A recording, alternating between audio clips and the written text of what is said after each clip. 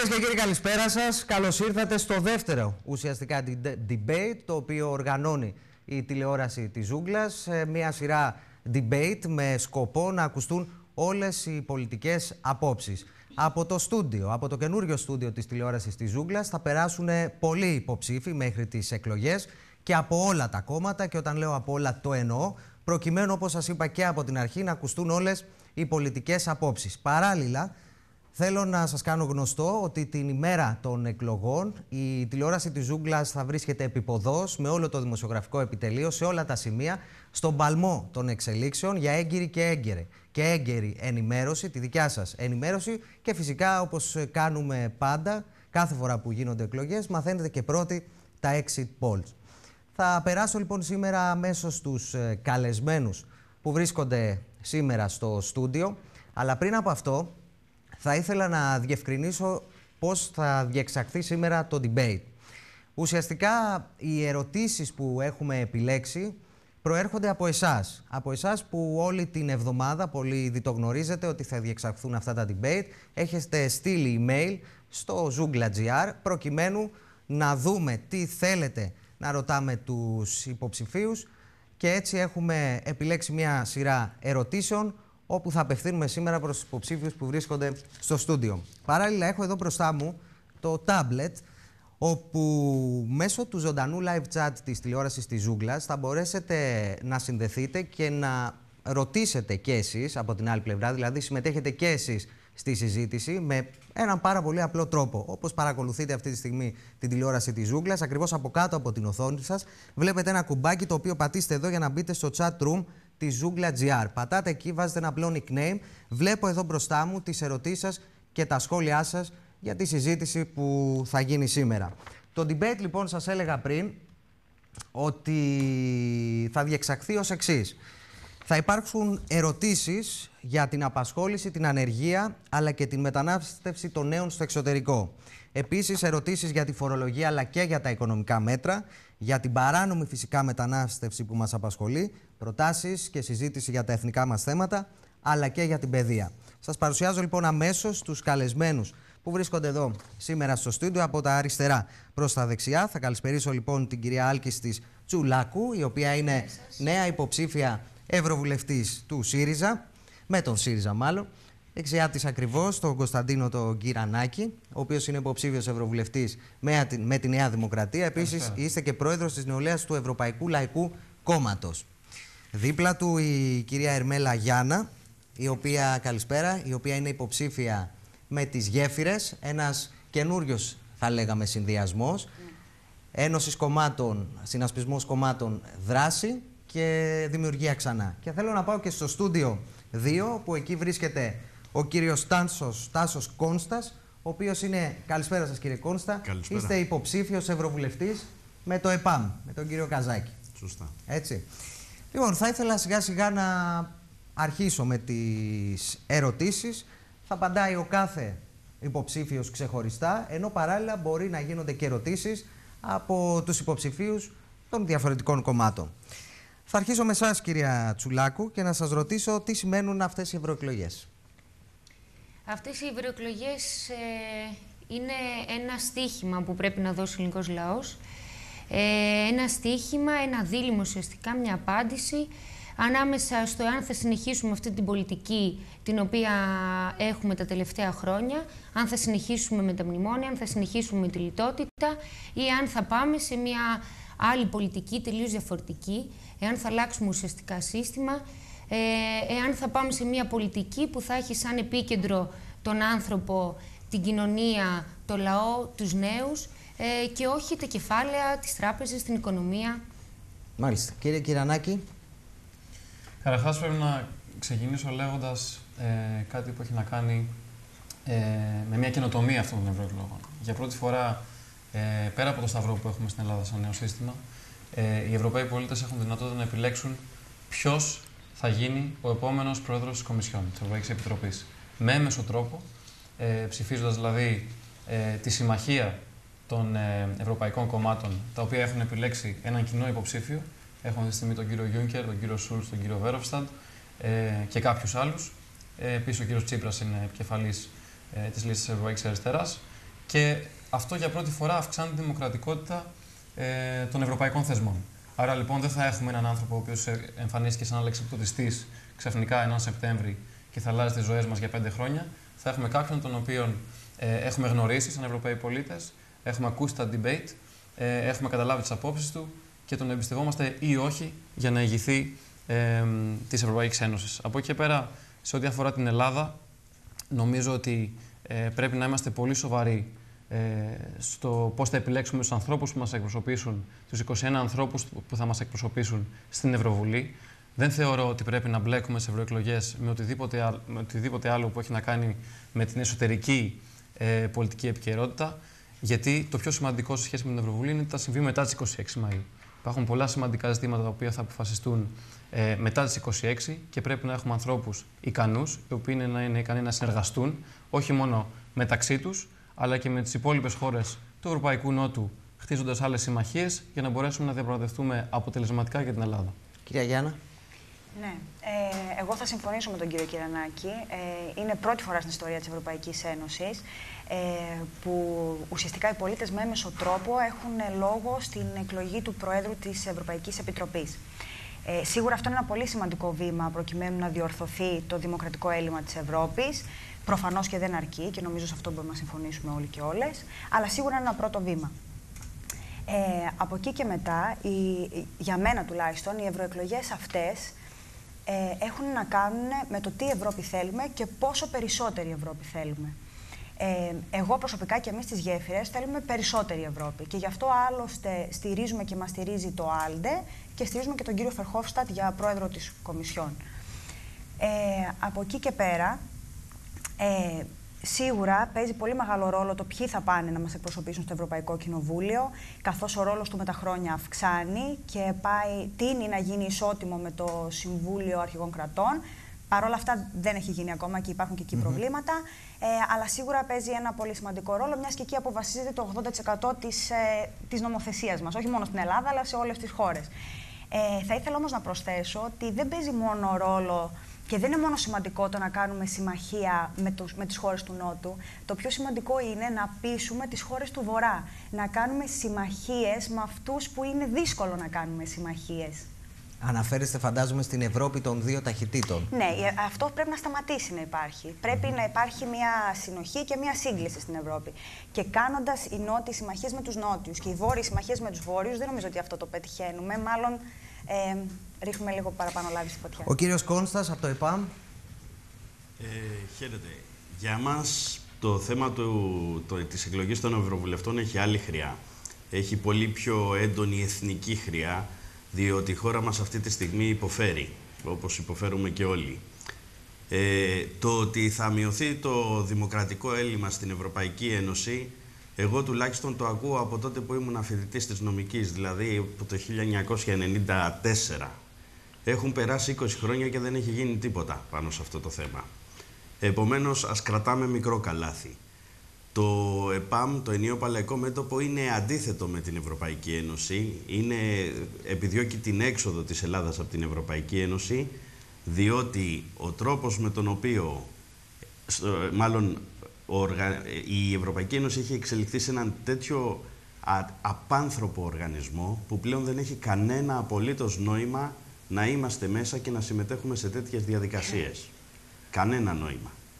Εμείς συμμετέχουμε σε αυτές τις εκλογές για να στείλουμε στην Ευρωβουλή ανθρώπους οι οποίοι θα ξυπνήσουν τους ευρωπαϊκούς λαούς για να διεκδικήσουν αυτά που θα έπρεπε να διεκδικήσουν διότι η Ευρωπαϊκή Ένωση υποτίθεται ότι συστήθηκε για την ευημερία, την ειρήνη και την ανάπτυξη των ευρωπαϊκών κοινωνιών. Και μόνον αυτό δεν κάνει. Αντιθέτως στη χώρα μας που έχει γίνει πραξικόπημα με νομικούς όρους, με τις δανειακές συμβάσεις και τα μνημόνια από το Μάιο του 10, και αυτό το έχουν πει έγκριτοι συνταγματολόγοι όπως πρωτίστως ο συνταγματολόγος ο κύριος Κασιμάτης. Αυτό λοιπόν το πραξικόπημα που έχει γίνει στη χώρα μας ουσιαστικά υποθάλπεται, έχει γίνει με την έγκριση, την ανοχή, για να μην πω με την επιβολή της Ευρωπαϊκής Ένωσης. Άρα όταν στέλνουμε έναν Ευρωβουλευτή εκεί, πρέπει να ξέρουμε ότι τον στέλνουμε στο λάκκο με τα φίδια και ότι θα πρέπει να παλέψει για τα συμφέροντα του ελληνικού λαού πρωτίστως και και των υπόλοιπων ευρωπαϊκών λαών δευτερευόντως. Ακούμε λοιπόν μια τελείως διαφορετική άποψη από εσάς, κύριε Κόνσα, σε σχέση με τις απόψεις που ακούσαμε πριν από λίγο. Θέλω να περάσω όμως τώρα στη δεύτερη ερώτηση, διότι γίνεται ε, λόγος για το νεαρό της ηλικίας σας γενικά. Δηλαδή, νέοι υποψήφοι ευρωβουλευτές. Η ερώτηση λοιπόν του κόσμου και από τη δικιά μας την πλευρά είναι αν πιστεύετε ότι το νεαρό της ηλικίας σας μπορεί να αποτελέσει ευνοϊκό παράγοντα για την εκλογή σας. Κυρία Τσουλάκου. Ε, νομίζω ότι έχει και το ευνοϊκό και έχει και ένα μειονέκτημα. Ε, σαφώς και μπορεί να αποτελέσει ένα παράγοντα με τη λογική ότι είμαστε νέοι άνθρωποι, ε, έχουμε ενέργεια, έχουμε διάθεση, ε, έχουμε ακόμα το όραμα πολύ έντονο στα μάτια μας, δεν, υπήρχε, δεν έχει υπάρξει μέχρι στιγμής κάποια απογοήτευση ακόμα δηλαδή. Ε, έχουμε τα προσόντα ε, αφενός γιατί ε, είμαστε άτομα με υψηλό μορφωτικό επίπεδο ε, και μπορούμε να δώσουμε λύσεις ε, με τη νέα χρειά που θα προσφέρουμε στους σχηματισμούς που συμμετέχουμε. Ε, το άλλο πολύ σημαντικό είναι ότι σαν νέοι άνθρωποι ξέρουμε καλύτερα από άλλους τι ε, προβλήματα αντιμετωπίζει η γενιά μας. Και δυστυχώς στην Ελλάδα του σήμερα την κύρια, το κύριο μέρος της ε, επίθεσης ε, το έχει δεχτεί η νεολαία. Η νεολαία που πλέον βρίσκεται με ένα ποσοστό 60% ανεργίας, που μόνο ευρωπαϊκό ποσοστό δεν μπορεί να θεωρηθεί, ε, της εργασίας που έχει πάρει πλέον χίλιες μορφές, Έχουμε την ενοικιαζόμενη εργασία, έχουμε την ε, επισφαλής εργασία, έχουμε την εργασία ανθρώπων που δεν πληρώνονται, την εργασία αυτών που πληρώνονται λίγοι, λίγο, την εργασία των ανέργων, ε, χίλιες μορφές, έχουμε τον μπλοκάκι, έχουμε να μην Τη μαύρη εργασία. Τη μαύρη εργασία, την ανασφάλιστη εργασία. Ε, όλα αυτά είναι μορφώματα των τελευταίων ετών. Και επειδή σαν άνθρωπος που τα βιώνω στην καθημερινότητά μου, ε, θεωρώ ότι άτομα της ηλικίας μπορούμε πιο εύκολα να τα δώσουμε, ε, να τα καταλάβουν και οι υπόλοιπες γενιές. Βέβαια, ε, σαφώς και μας λείπει εμπειρία, ε, γι' αυτό και εγώ δέχτηκα να συμμετέχω στο ψηφοδέλτιο του ΣΥΡΙΖΑ, γιατί πλησιώνεται από καταξιωμένους ανθρώπους, οπότε να φέρουμε μια ισορροπία ανάμεσα στη δική μας ενέργεια, στη δική μας πείθα, το πούμε, και στην προηγούμενη εμπειρία, γνώση, της πρακτικής και το πώς ακριβώς μπορούμε να πετύχουμε αυτά που θέλουμε. Κύριε Κυριανάκη, εσείς ως πρόεδρος της νεολαίας του, παράλληλα ως πρόεδρος της νεολαίας του Ευρωπαϊκού Κόμματος, τι πιστεύετε για αυτό που ρώτησα πριν από λίγο; Δηλαδή, όταν κάποιος είναι νέος και βρίσκεται στην Ευρωβουλή, το λαμβάνουν σοβαρά υπόψη ή απλά του λένε θα κάνεις και εσύ αυτά τα πράγματα και άσε τους άλλους να κάνουν τα δύσκολα. Εγώ θέλω να είμαι ξεκάθαρος. Δεν νομίζω ότι αρκεί να είμαστε νέοι. Πρέπει να είμαστε νέοι και σοβαροί και πρέπει πάνω απ' όλα να είμαστε χρήσιμοι και αυτά που κάνουμε να είναι χρήσιμα για τους υπόλοιπους συμπολίτες μας και όχι μόνο της γενιάς μας, αλλά και της προηγούμενης και κυρίως της επόμενης. Και σε αυτή την κατεύθυνση κατευθύνονται και οι, ε, οι πολιτικές της νεολαίας του Ευρωπαϊκού Λαϊκού Κόμματο. Έχουμε μια ομάδα παιδιών που δουλεύει πολύ σκληρά για να προσπαθεί να είναι χρήσιμη, να παράγει δηλαδή πολιτική και να προσπαθεί να αλλάξει ευρωπαϊκή νομοθεσία προς αυτή την κατεύθυνση. Και θα σας δώσω ένα απλό παράδειγμα. Έχουμε καταθέσει ένα πλάνο ε, για την ανεργία ε, τριών σημείων. Το οποίο θα αναλύσουμε, φαντάζομαι, αργότερα, τις πολιτικές. Αλλά το σημαντικό είναι το ναι. εξής.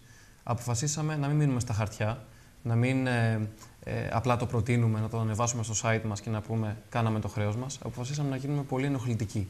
Και τι εννοώ με αυτό; Χτυπήσαμε ε, πάρα πολλές πόρτες στο Ευρωκοινοβούλιο, ε, παρουσιάσαμε την πρότασή μας σε ευρωβουλευτές, χτυπήσαμε την πόρτα του κ. Μπαρόζο, χτυπήσαμε τα, την πόρτα πολλών πρωθυπουργών, χτυπήσαμε την πόρτα πολλών επιτρόπων και καταφέραμε να περάσουμε αυτές τις προτάσεις ως προτεραιότητες μέσα στο Ευρωπαϊκό Κοινοβούλιο και στο Ευρωπαϊκό Συμβούλιο. Οπότε προχωρήσαμε με αυτό το όπλο το ευρωπαϊκό να μπορέσουμε να αλλάξουμε και νομοθεσία σε εθνικό επίπεδο. Και αυτή τη στιγμή έχουμε καταφέρει αποτελέσματα σε Ιρλανδία, Πορτογαλία ε, και Σουηδία και μπορούμε να πούμε ε, στον νέο άνθρωπο ο οποίος θέλει να μπει στην πολιτική, ε, είναι απογοητευμένος από την πολιτική, ε, θεωρεί ότι ε, δεν, έχει, δεν έχει αντίκρισμα η προσπάθεια και η ενέργεια που δίνει στην πολιτική και του λέμε το εξής. Μπορούμε εμείς, σαν νεολαία του Ευρωπαϊκού Λαϊκού Κόμματος, να πάρουμε τις καλύτερες ιδέες από νέα παιδιά από όλη την Ευρώπη και να τις κάνουμε βήμα-βήμα ευρωπαϊκή νομοθεσία. Αυτό γίνεται. Το έχουμε αποδείξει και αυτό είναι το μήνυμά μας αισιοδοξίας, αν θέλετε, προς νέους ανθρώπους. Κυρία Γιάννα. Λοιπόν, εγώ πιστεύω ότι είναι ανάλογα τον άνθρωπο που σε κοιτάει. Δηλαδή, για άλλους μπορεί να είναι συν και για άλλους μπορεί να είναι πλην. Νομίζω το είπαν και οι δύο προηγούμενοι. Ε, εγώ πιστεύω ότι όλοι είμαστε σοβαροί και θέλουμε να φανούμε χρήσιμοι, άρα από αυτή την άποψη είναι κάτι το θετικό. Και μιας και στις δημοκρατίες και γενικότερα στην πολιτική πρέπει να εκπροσωπούνται όλες οι ομάδες της κοινωνίας, ε, όποιος τα καταφέρει ή όποια τα καταφέρει να είναι στο κοινοβούλιο από τη δική μας ε, γενιά, σίγουρα είναι θετικό. Γιατί μπορεί να δώσει μια εικόνα του προβλήματος που ίσως οι μεγαλύτεροι άνθρωποι δεν την έχουν, όχι επειδή δεν θέλουν να την έχουν ή διαφορούν, αλλά εν πάση περιπτώσει είναι διαφορετικό να είσαι μέσα στα πράγματα. Ε, από εκεί και μετά έχω τις αμφιβολίες μου στο, προ, ως προς το Ευρωπαϊκό Λαϊκό Κόμμα γιατί μέχρι στιγμής έχει δείξει μια πάγια πολιτική συντήρησης και συντηρητισμού. Ε, οπότε δεν, μακάρι, προτα... δεν τις ξέρω τις προτάσεις σας, ε, οπότε είναι της περιμένω... νεολαίας στο Ευρωπαϊκό Λαϊκό Κόμμα. Ωραία, οπότε θα περιμένω να τις ακούσω. Ναι. Ε, εγώ αυτό που έχω να πω είναι ότι αν κάποιος με ρώταγε ένα χρόνο πριν, μάλλον μου έλεγε ένα χρόνο πριν ότι ξέρεις τι θα είσαι υποψήφιο από την Ευρωβουλή, θα έλεγα δεν υπάρχει τέτοια περίπτωση. Δηλαδή δεν, δεν μπορούσα να το διανοηθώ. Γιατί πάντα ήμουν ένα, ένα παιδί που πήγαινε στο Πανεπιστήμιο κανονικά, στο Πανεπιστήμιο Πειραιά, και δεν μου άρεσαν καθόλου τα τραπεζάκια των φοιτητικών παρατάξεων. Δηλαδή, αυτό που έκανα ήταν να προσπερνάω και, να, και να πηγαίνω ήσυχα στο μάθημά μου, γιατί δεν συμφωνούσα με πολλά από τα πράγματα τα οποία συνέβαιναν μέσα στο Πανεπιστήμιο. Ε, κατάλαβα όμως ότι τα προβλήματα δεν λύνονται με τα προσπερνάς, λύνονται με το να τα αντιμετωπίζεις. Οπότε, υπ' αυτή την έννοια, θέλω και εγώ με τη σειρά μου να φανώ χρήσιμη και να βάλω σε αυτό το σκοπό της ιδέας μου. Κύριε Κόνστα. Εγώ, όπως αντιλαμβάνεστε, είμαι κατά τη μεγαλύτερος από τους υπόλοιπους συνομιλητές. Λίγο μεγαλύτερος. ναι, ναι, ναι. Ε, Παρ' όλα αυτά, θεωρώ θετικό πάντοτε να συμμετέχουν οι νέοι στα πολιτικά πράγματα. Τόσο στα της χώρας μας, όσο βεβαίως και της Ευρωπαϊκής Ένωσης. Έτσι. Αλίμονο αν δεν συνέβαινε αυτό. Ίσα ίσα που πιστεύω ότι το πρόβλημα που έχουμε στην Ελλάδα αυτή τη στιγμή είναι ακριβώς ότι δεν συμμετέχουν οι νέοι στα κοινά και αυτό δημιουργεί διάφορα προβλήματα. Γι' αυτό ενδεχομένως υπάρχουν και τόσο μικρές ε, αντιδράσεις σε όσα περνάει ο λαός μας. Τώρα, το να υπάρχουν νέοι σε ηλικία ευρωβουλευτές στο Ευρωπαϊκό Κοινοβούλιο λογικά είναι ένα θετικό πράγμα. Οι φρέσκες ιδέες πάντοτε βοηθάνε, αλλά χρειάζεται και εμπειρία. Αυτό είναι σίγουρο. Και βέβαια δεν θα πρέπει κανείς να έχει αυταπάτες. Διότι λυπούμε που θα το πω, όταν ήμουνα και εγώ στη θέση των υπολείπων συνομιλητών, ήμουνα ευρωπαϊστής, πίστευα ότι η Ευρωπαϊκή Ένωση μπορεί να βοηθήσει και τη χώρα μου και το λαό μου και όλους τους λαούς της Ευρώπης, αλλά δυστυχώς 20 χρόνια μετά έχω διαψευστεί ικτρά. Αυτό λοιπόν είναι κάτι που οι νέοι μας που πηγαίνουν, με, που θέλουν να πάνε τέλος πάντων με τόσες ελπίδες και τόσα όνειρα στο Ευρωπαϊκό Κοινοβούλιο θα πρέπει να το ξέρουν. Έτσι, να, να το λάβουν υπόψη τους.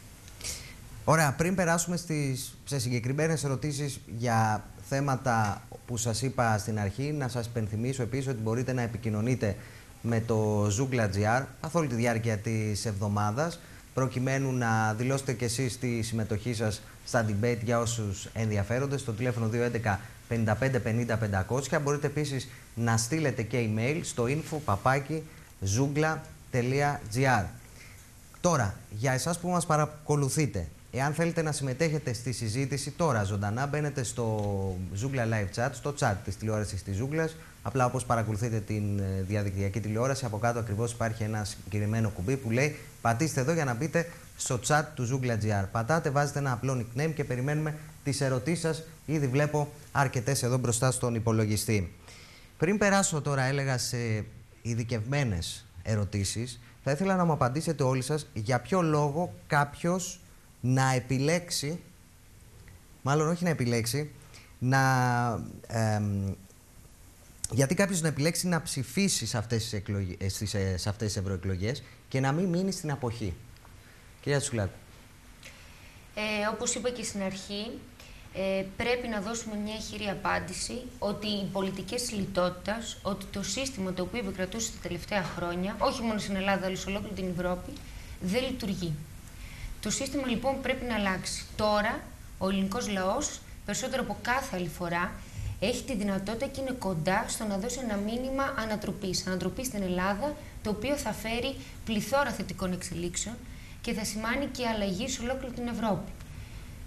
Εσείς, από ό,τι καταλαβαίνω, υποστηρίζετε ότι το μήνυμα που θα δώσουν το αποτέλεσμα αυτών των ευρωεκλογών θα επηρεάσει και τα πολιτικά πράγματα της χώρας. Φυσικά και θα τα επηρεάσει και αυτό, ε, αυτό εύχομαι, ε, διότι ειδικά η ελληνική κοινωνία βρίσκεται σε άθλια κατάσταση.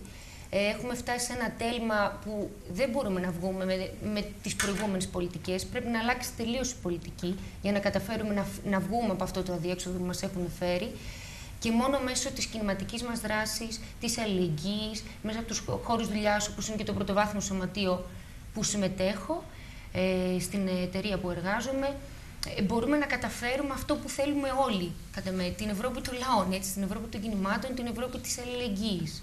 Κύριε Κυρανάκη. Ναι, η απάντηση δική μου σε κάποιον που ε, θα με ρώταγε γιατί να απέχει. Γιατί να, ναι, όχι, και για ποιο λόγο γιατί ναι, να, να, συμμετέχει. να, να συμμετέχει. Ε, είναι ότι δεν θα του έλεγα τίποτα. Η δική μου προτεραιότητα είναι να αλλάξω το σύστημα και την οτροπία που επικρατεί στις Βρυξέλλες και δημιουργεί το έλλειμμα κατανόησης της Ευρώπης προς τους πολίτες. Γι' αυτό δεν φταίνουν οι πολίτες. Και το γεγονός ότι δεν υπάρχει άμεση σχέση ε, και άμεση σχέση κατανόησης κυρίως για το τι συμβαίνει στην Ευρώπη και στο Ευρωκοινοβούλιο και το πώς αυτό αλλάζει τις ζωές των πολιτών και των νέων ανθρώπων, δεν φταίνουν οι ίδιοι οι πολίτες. Πρέπει άρα, ε, και αυτή θα είναι και η δική μου προτεραιότητα, να πάμε στις Βρυξέλλες και να δημιουργήσουμε τις δομές αυτές και την οτροπία αυτή που θα μπορεί να έχει ανοιχτές πόρτες. Θα, μπορεί, ε, θα μπορούν οι γραφειοκράτες των Βρυξελών να αντικατασταθούν με ανθρώπους που γνωρίζουν τα πραγματικά προβλήματα των πολιτών και να μπορεί να δημιουργείται μια απευθεία σχέση ψηφοφόρου, πολίτη, με τον Ευρωβουλευτή. Αυτή τη στιγμή, αν θέλει ένας πολίτης, ένας ψηφοφόρος, να πάρει τηλέφωνο τον εκπρόσωπό του, έναν από τους 751, όχι οπωσδήποτε έναν Έλληνα, έναν οποιοδήποτε που εκφράζει τις απόψεις του. Δεν ξέρει τι να του ζητήσει. Γιατί υπάρχει μια τεράστια πολυπλοκότητα και αναποτελεσματικότητα στον τρόπο που λειτουργεί αυτή τη στιγμή το Ευρωκοινοβούλιο και ο πολίτης είναι χαμένος ε, στην, ε, στο λαβύρινθο των αποφάσεων. Βεβαίως και Άρα, υπάρχει λοιπόν, και κόσμος, σας διακόπτω, συγγνώμη, υπάρχει και κόσμος ο οποίος λέει ότι δεν προσφέρουν κάτι ουσιαστικά οι ευρωεκλογές. Δηλαδή έχουν συνδέσει περισσότερο τις βουλευτικές εκλογές, ότι θα πάνε να ψηφίσουν εκεί διότι μπορούν να αλλάξουν κάτι. Ενώ είναι πολλοί που πιστεύουν ότι με τις ευρωεκλογές ουσιαστικά δεν γίνεται τίποτα. Και γι' αυτό υπήρξε και μεγάλη αποχή, αν θυμάμαι καλά στις προηγούμενες. Φυσικά. Και όσο συνεχίζει η κατάσταση να είναι έτσι, θα υπάρχει μεγάλη αποχή.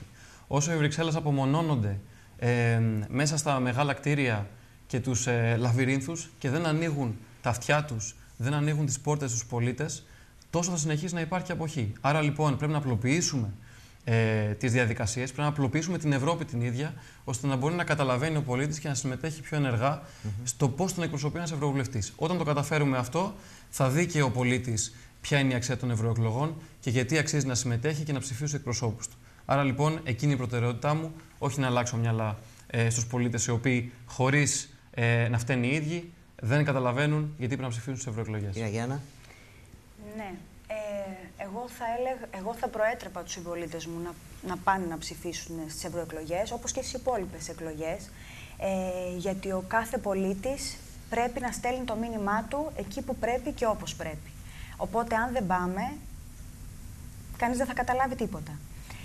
Και όπως ξεκινήσαμε και είπαμε στην αρχή και το είπε και ο κύριος Κυρανάκης, από τη στιγμή που γίνεται ένα τόσο σημαντικό βήμα, μικρό αλλά σημαντικό, ως προς τη μείωσης του δημοκρατικού ελλείμματος του Προέδρου, ο οποίος θα εκλεγεί έμεσα από τους Ευρωπαίους πολίτες, αν οι Ευρωπαίοι πολίτες δεν πάνε, τι νόημα έχει; Κανένα απολύτω. Έτσι δεν είναι. Δηλαδή. Όχι, μην το λέτε σε μένα, είναι η απάντησή σας. Δηλαδή, νομίζω ότι δεν θα έχει νόημα αυτή τη στιγμή η νίκη σε αυτές τις ευρωεκλογές είναι, είναι αυτή, αυτό ακριβώς. Αυτή είναι η πρωτοπορία αυτών των ευρωεκλογών. Γι' αυτό μάλιστα έχουμε, είδαμε και τα debate, τα δύο debate που έχουν γίνει. Οπότε γι' αυτό και πρέπει να πάμε. Κύριε Κόνστα, εσείς τι λέτε, τι θα λέγατε σε κάποιον, πώς θα πείθατε μάλλον κάποιον ότι πρέπει να πάει να ψηφίσει σε αυτές ε, τι ευρωεκλογές; Σίγουρα βασιζόμενο στην ε, εγχώρια πολιτική κατάσταση. Διότι ο πολίτης νομίζω δεν τρέφει αυταπάτες. Ξέρει ότι το Ευρωπαϊκό Κοινοβούλιο και οι αρμοδιότητες του είναι ευνοχισμένες. Ότι ουσιαστικά δεν χαράσει την πολιτική στην Ευρωπαϊκή Ένωση, δεν εκπροσωπεί τους ευρωπαϊκούς λαούς. Τα περισσότερα αποφασίζονται από το Ευρωπαϊκό Συμβούλιο και την Επιτροπή.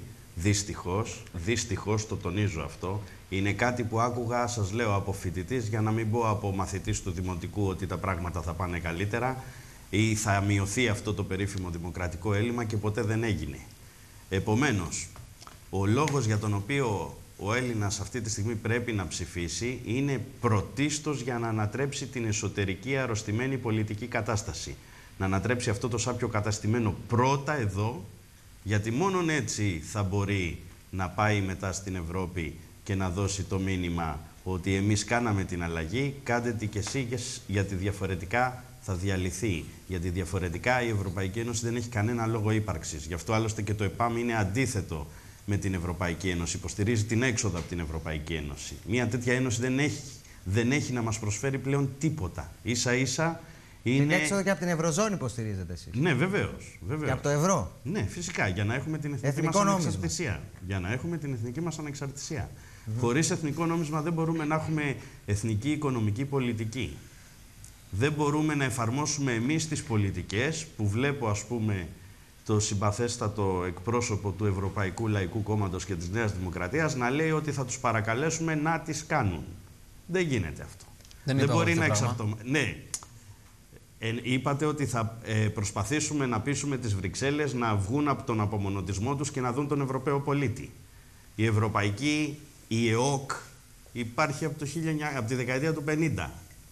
Εμείς έχουμε μπει στην ΕΟΚ το 1981, εγώ ήμουνα 10 χρονών τα πράγματα δυστυχώς αντί να βελτιώνονται χειροτερεύουν. Επομένως ποιο να πείσουμε και πώς. Όλος ο κόσμος έχει δει ναι. Ότι ε... από τότε που μπήκαμε στο ευρώ τα πράγματα στη χώρα δυστυχώς πάνε από το κακό Κύριε Κόνστα, θα βάλετε με μια ανωτελεία. Ε, ο κύριος Κυρανάκης ήθελε να πει κάτι και μετά η κυρία Γιάννα για αυτό που είπε ο κύριος Κόνστας. Όχι, εγώ δεν είπα αυτό που είπε ο κύριος Κόνστας. Ε, εγώ αυτό που είπα ότι θα πάμε να την αλλάξουμε την οτροπία. Δεν είπα ότι θα παρακαλέσουμε Μάλιστα. κανέναν. και, όσο, και για να ναι. αλλάξει πράγματα καμιά φορά πρέπει να γίνεις ενοχλητικός. Ναι. Πρέπει να χτυπήσεις πόρτες. Ναι. Πρέπει να σηκωθείς από τον καναπέ σου και από την οθόνη σου στο Facebook και να πας να γίνεις ενοχλητικός.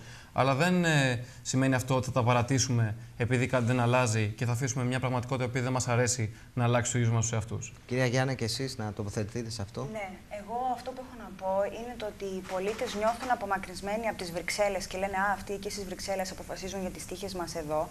Έχουν σίγουρα ευθύνη οι Βρυξέλλες, γιατί το σύστημα είναι πολύ γραφειοκρατικό και πολύ σωστά το, το αναφέρει ο κ. Κυρανάκη. Έχουν όμως και η πολιτική εγχώρη ευθύνη, η εθνική πολιτική, όχι μόνο στην Ελλάδα, σε όλες τις χώρες. Γιατί το Συμβούλιο Αρχηγών Κρατών, το οποίο εκείνο λαμβάνει τις αποφάσεις, η Κομισιόν παίρνει την πρωτοβουλία, καταθέτει προτάσεις, mm -hmm. τις οποίες τις ζητάει το Συμβούλιο Αρχηγών Κρατών. Αυτό να το ξεκαθαρίσουμε λίγο, γιατί μιας και μιλάμε για ευρωεκλογές, τουλάχιστον να μιλάμε σε μια σωστή βάση. Ε, τις περισσότερες τις παίρνει και κλεισμένο των θυρών. Και όταν βγαίνουν έξω οι αρχηγοί κρατών και δίνουν συνέντευξη τύπου, ε, τώρα είναι 28, ακούς 28 διαφορετικά πράγματα. Δηλαδή τους ρωτάνε οι δημοσιογράφοι από κάτω, μα τι συζητήσατε και τι αποφασίσατε. Και λένε διαφορετικά πράγματα. Δεν βγαίνει άκρη δηλαδή. Δεν υπάρχει, δεν υπάρχει διαφάνεια σε αυτό το θεσμό, στο Συμβούλιο Αρχηγών Κρατών. Ε, και επίσης υπάρχει και ένα άλλο θέμα.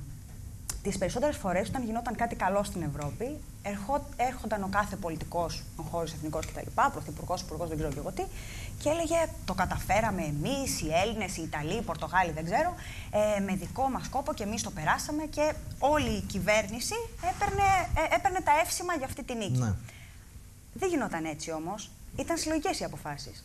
Και ό, όταν όμως γινόταν κάτι κακό, συσσαγωγικά, ερχόντουσαν πίσω και λέγανε Α, δεν φταίμε εμείς, φταίνει οι Βρυξέλλες. Όταν λοιπόν επί χρόνια έχεις καλλιεργήσει αυτή την οτροπία, αυτή την οτροπία στο λαό σου, ε, δεν μπορείς να περιμένεις να είναι και σούπερ ενθουσιώδης με τις ευρωεκλογές. Και όταν ακόμα και τώρα η συζήτηση και από μεγαλύτερους από εμάς, γιατί τουλάχιστον εμείς εδώ μέχρι τώρα μιλάμε πιο ευρωπαϊκά από ό,τι μιλάνε στις τηλεοράσεις. Ε, το, το έχουν κάνει πρόβα τζενεράλε για τις ε, για τις εθνικές εκλογές. Ε, τι, τι, τι μπορείς να περιμένεις από τους άλλους; Να περάσω σε πιο ειδικές ερωτήσεις τώρα, αρχίζοντας από την κυρία Τσουλάκου, η οποία είναι υποψήφια ευρωβουλευτής με τον ΣΥΡΙΖΑ. Ε, ποια θα είναι λοιπόν τα πρώτα θέματα που έχετε, μάλλον ποια είναι τα πρώτα θέματα που έχετε στην ατζέντα σας άμεσα για να θίξετε στην Ευρωβουλή σε περίπτωση που εκλεγείτε και γίνετε ευρωβουλευτής του ΣΥΡΙΖΑ; Ε, σαν μέλος και εγώ της νέας γενιάς ε, και σαν ε, εργαζόμενη στον ιδιωτικό χώρο, νομίζω ότι το νούμερο ένα πρόβλημα που αντιμετωπίζει και η κοινωνία μας και φυσικά η νέα γενιά είναι η ανεργία, όπως είπα και προηγουμένως. Ε, διότι η ανεργία προκαλεί ένα ντόμινο αρνητικών εξελίξεων ε, προσωπικών. Ε, δεν μπορείς να, να συντηρήσεις την οικογένειά σου, δεν μπορείς να συντηρήσεις το σπίτι σου, δεν μπορείς να συντηρήσεις τον εαυτό σου, ε, πέφτει η αυτοπεποίθησή σου, ε, γίνεσαι αντιπαραγωγικός, ε, πέφτει σε μια κατάθλιψη. Ε, έχει δηλαδή Άρα το πρώτο κομμάτι που καταλαβαίνω είναι η ανεργία το, των νέων. Το πρώτο κομμάτι Θα εστιάσετε εκεί εσείς δηλαδή; Όχι μόνο Ή έχετε των και άλλα νέων. θέματα στην ατζέντα σας. Όχι μόνο των νέων, γενικά η ενεργεία. Η ανεργία. Απλά η ενεργεία των νέων είναι αυτή που είναι σε πολύ Ωραία. ψηλότερο Άρα, ποσοστό. πρώτο κομμάτι ανεργία. Θα μας πείτε μετά, υπάρχουν και άλλες ερωτήσεις για τις προτάσεις σας για να μπορέσει να μειωθεί η ανεργία. Αλλά συγκεκριμένα αυτό που ρωτάμε είναι θέματα. Το πρώτο μας είπατε η ανεργία. Άλλο θέμα, το οποίο είναι στην ατζέντα σας; Ε, άλλο θέμα είναι οι διάφορες μορφές εργασίας, όπως είπα και πριν. Δηλαδή, θέλω να ενισχυθεί μέσα από την Ευρώπη, φυσικά θέλει και αλλαγή των θεσμών, όπως όλοι είπαμε, ε, να ενισχυθεί εν, μια ευρωπαϊκή πλατφόρμα συνδικάτων, μια ευρωπα- ευρωπαϊκή πλατφόρμα συνένωσης εργαζομένων, ε, μια ευρωπαϊκή πλατφόρμα κινημάτων. Ε, να υπάρχει δηλαδή μια διαδικασία όπου όλοι οι εργαζόμενοι στην Ευρώπη θα, χε- θα χαίρουν περίπου τα ίδια δικαιώματα. Δεν μπορώ να δεχτώ ότι υπάρχει αυτό που είπαμε πριν, Ευρώπη όχι των δύο ταχυτήτων, υπάρχει η Ευρώπη των δεκάδων ταχυτήτων. Άλλο εμείς το παίρνουμε εδώ, άλλο εμείς το παίρνουν από εκεί, άλλο εμείς το παίρνουν παραπέρα, τελείως διαφορετικά δικαιώματα. Όλα αυτά πρέπει να ενοποιηθούν. Και ο χώρος εργασίας είναι ένας χώρος νεφραλγικός για την κοινωνία, ένας χώρος ο οποίος θα αποτελέσει και τον πυρήνα της παραγωγικής ανασυγκρότησης που όλοι λέμε και επιθυμούμε. Οπότε είναι το, ο επόμενος τομέας που, που είναι προτεραιότητα. Ανεργία, εργασία. Υπάρχει τρίτο; Ναι, φυσικά. Ε, μετά, να, τα πάμε, να το πάμε και λίγο εθνικά, ε, πρέπει να φύγει η Τρόικα από όλες τις χώρες που υπάρχει. Για μένα αυτό είναι αυτονόητο.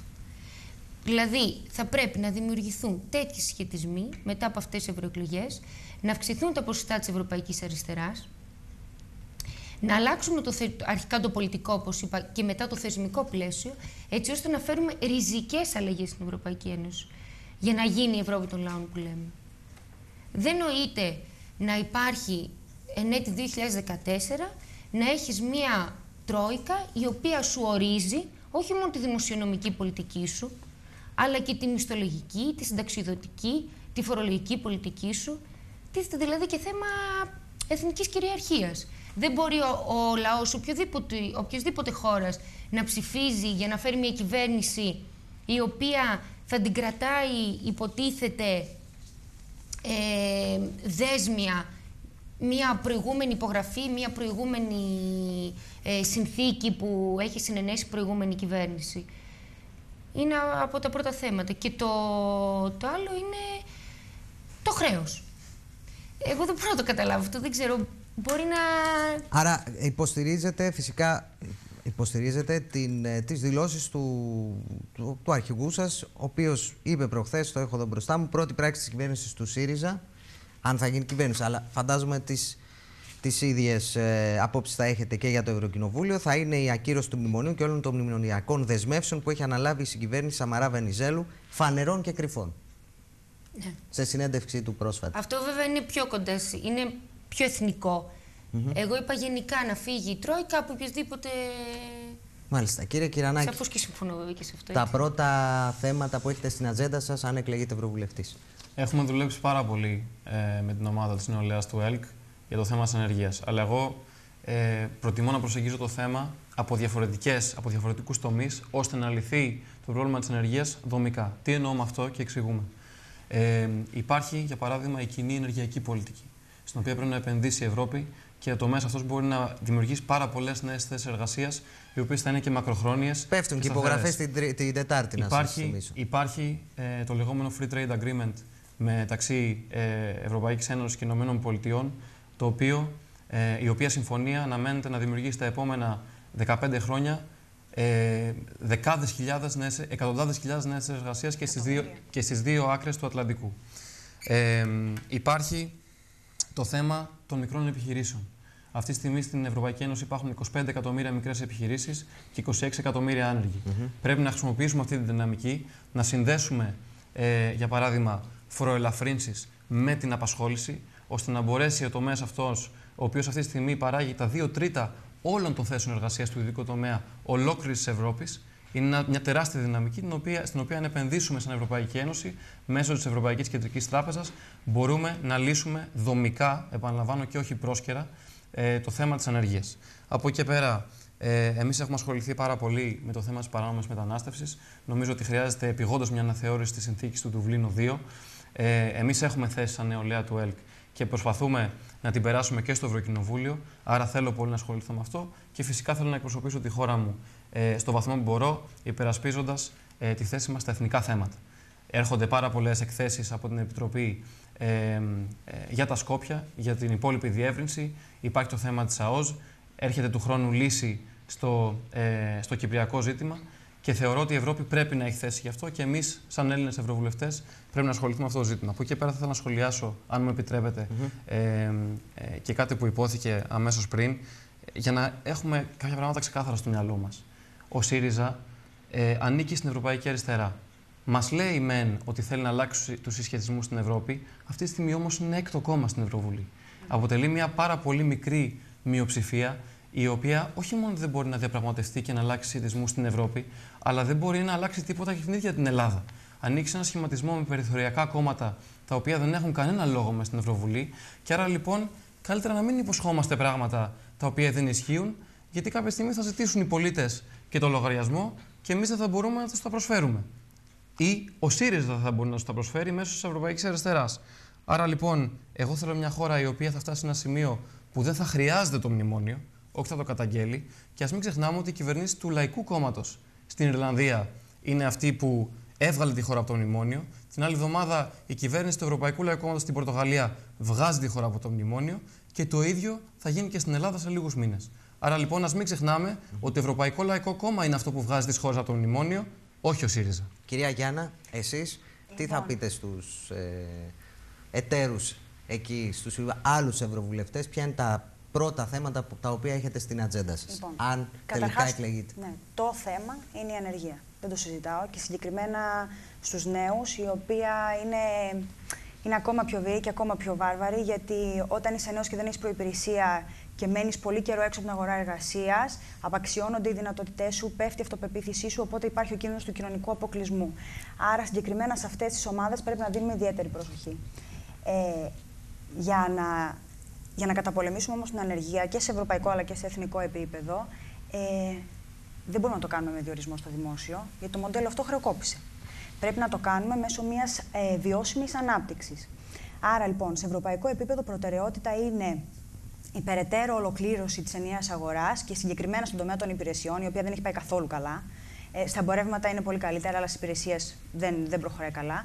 Ε, θα συμφωνήσω με την κοινή ενεργειακή πολιτική, η οποία όχι μόνο θα προσφέρει νέες θέσεις εργασίας, αλλά είναι και ένα πολύ σημαντικό όπλο για την εξωτερική πολιτική της Ευρώπης. Σίγουρα. Ε, και φυσικά θα πρέπει να δοθεί έμφαση στις μικρομεσαίες επιχειρήσεις και αυτό μπορεί να γίνει ε, μέσω της Τραπεζικής Ένωσης. Δηλαδή, η Ευρωπαϊκή Ένωση αυτή τη στιγμή φαίνεται να, αρχί, να, αρχίσει, πάλι να, να αρχίσει πάλι να σέρνει λίγο τα πόδια της προς αυτή την κατεύθυνση.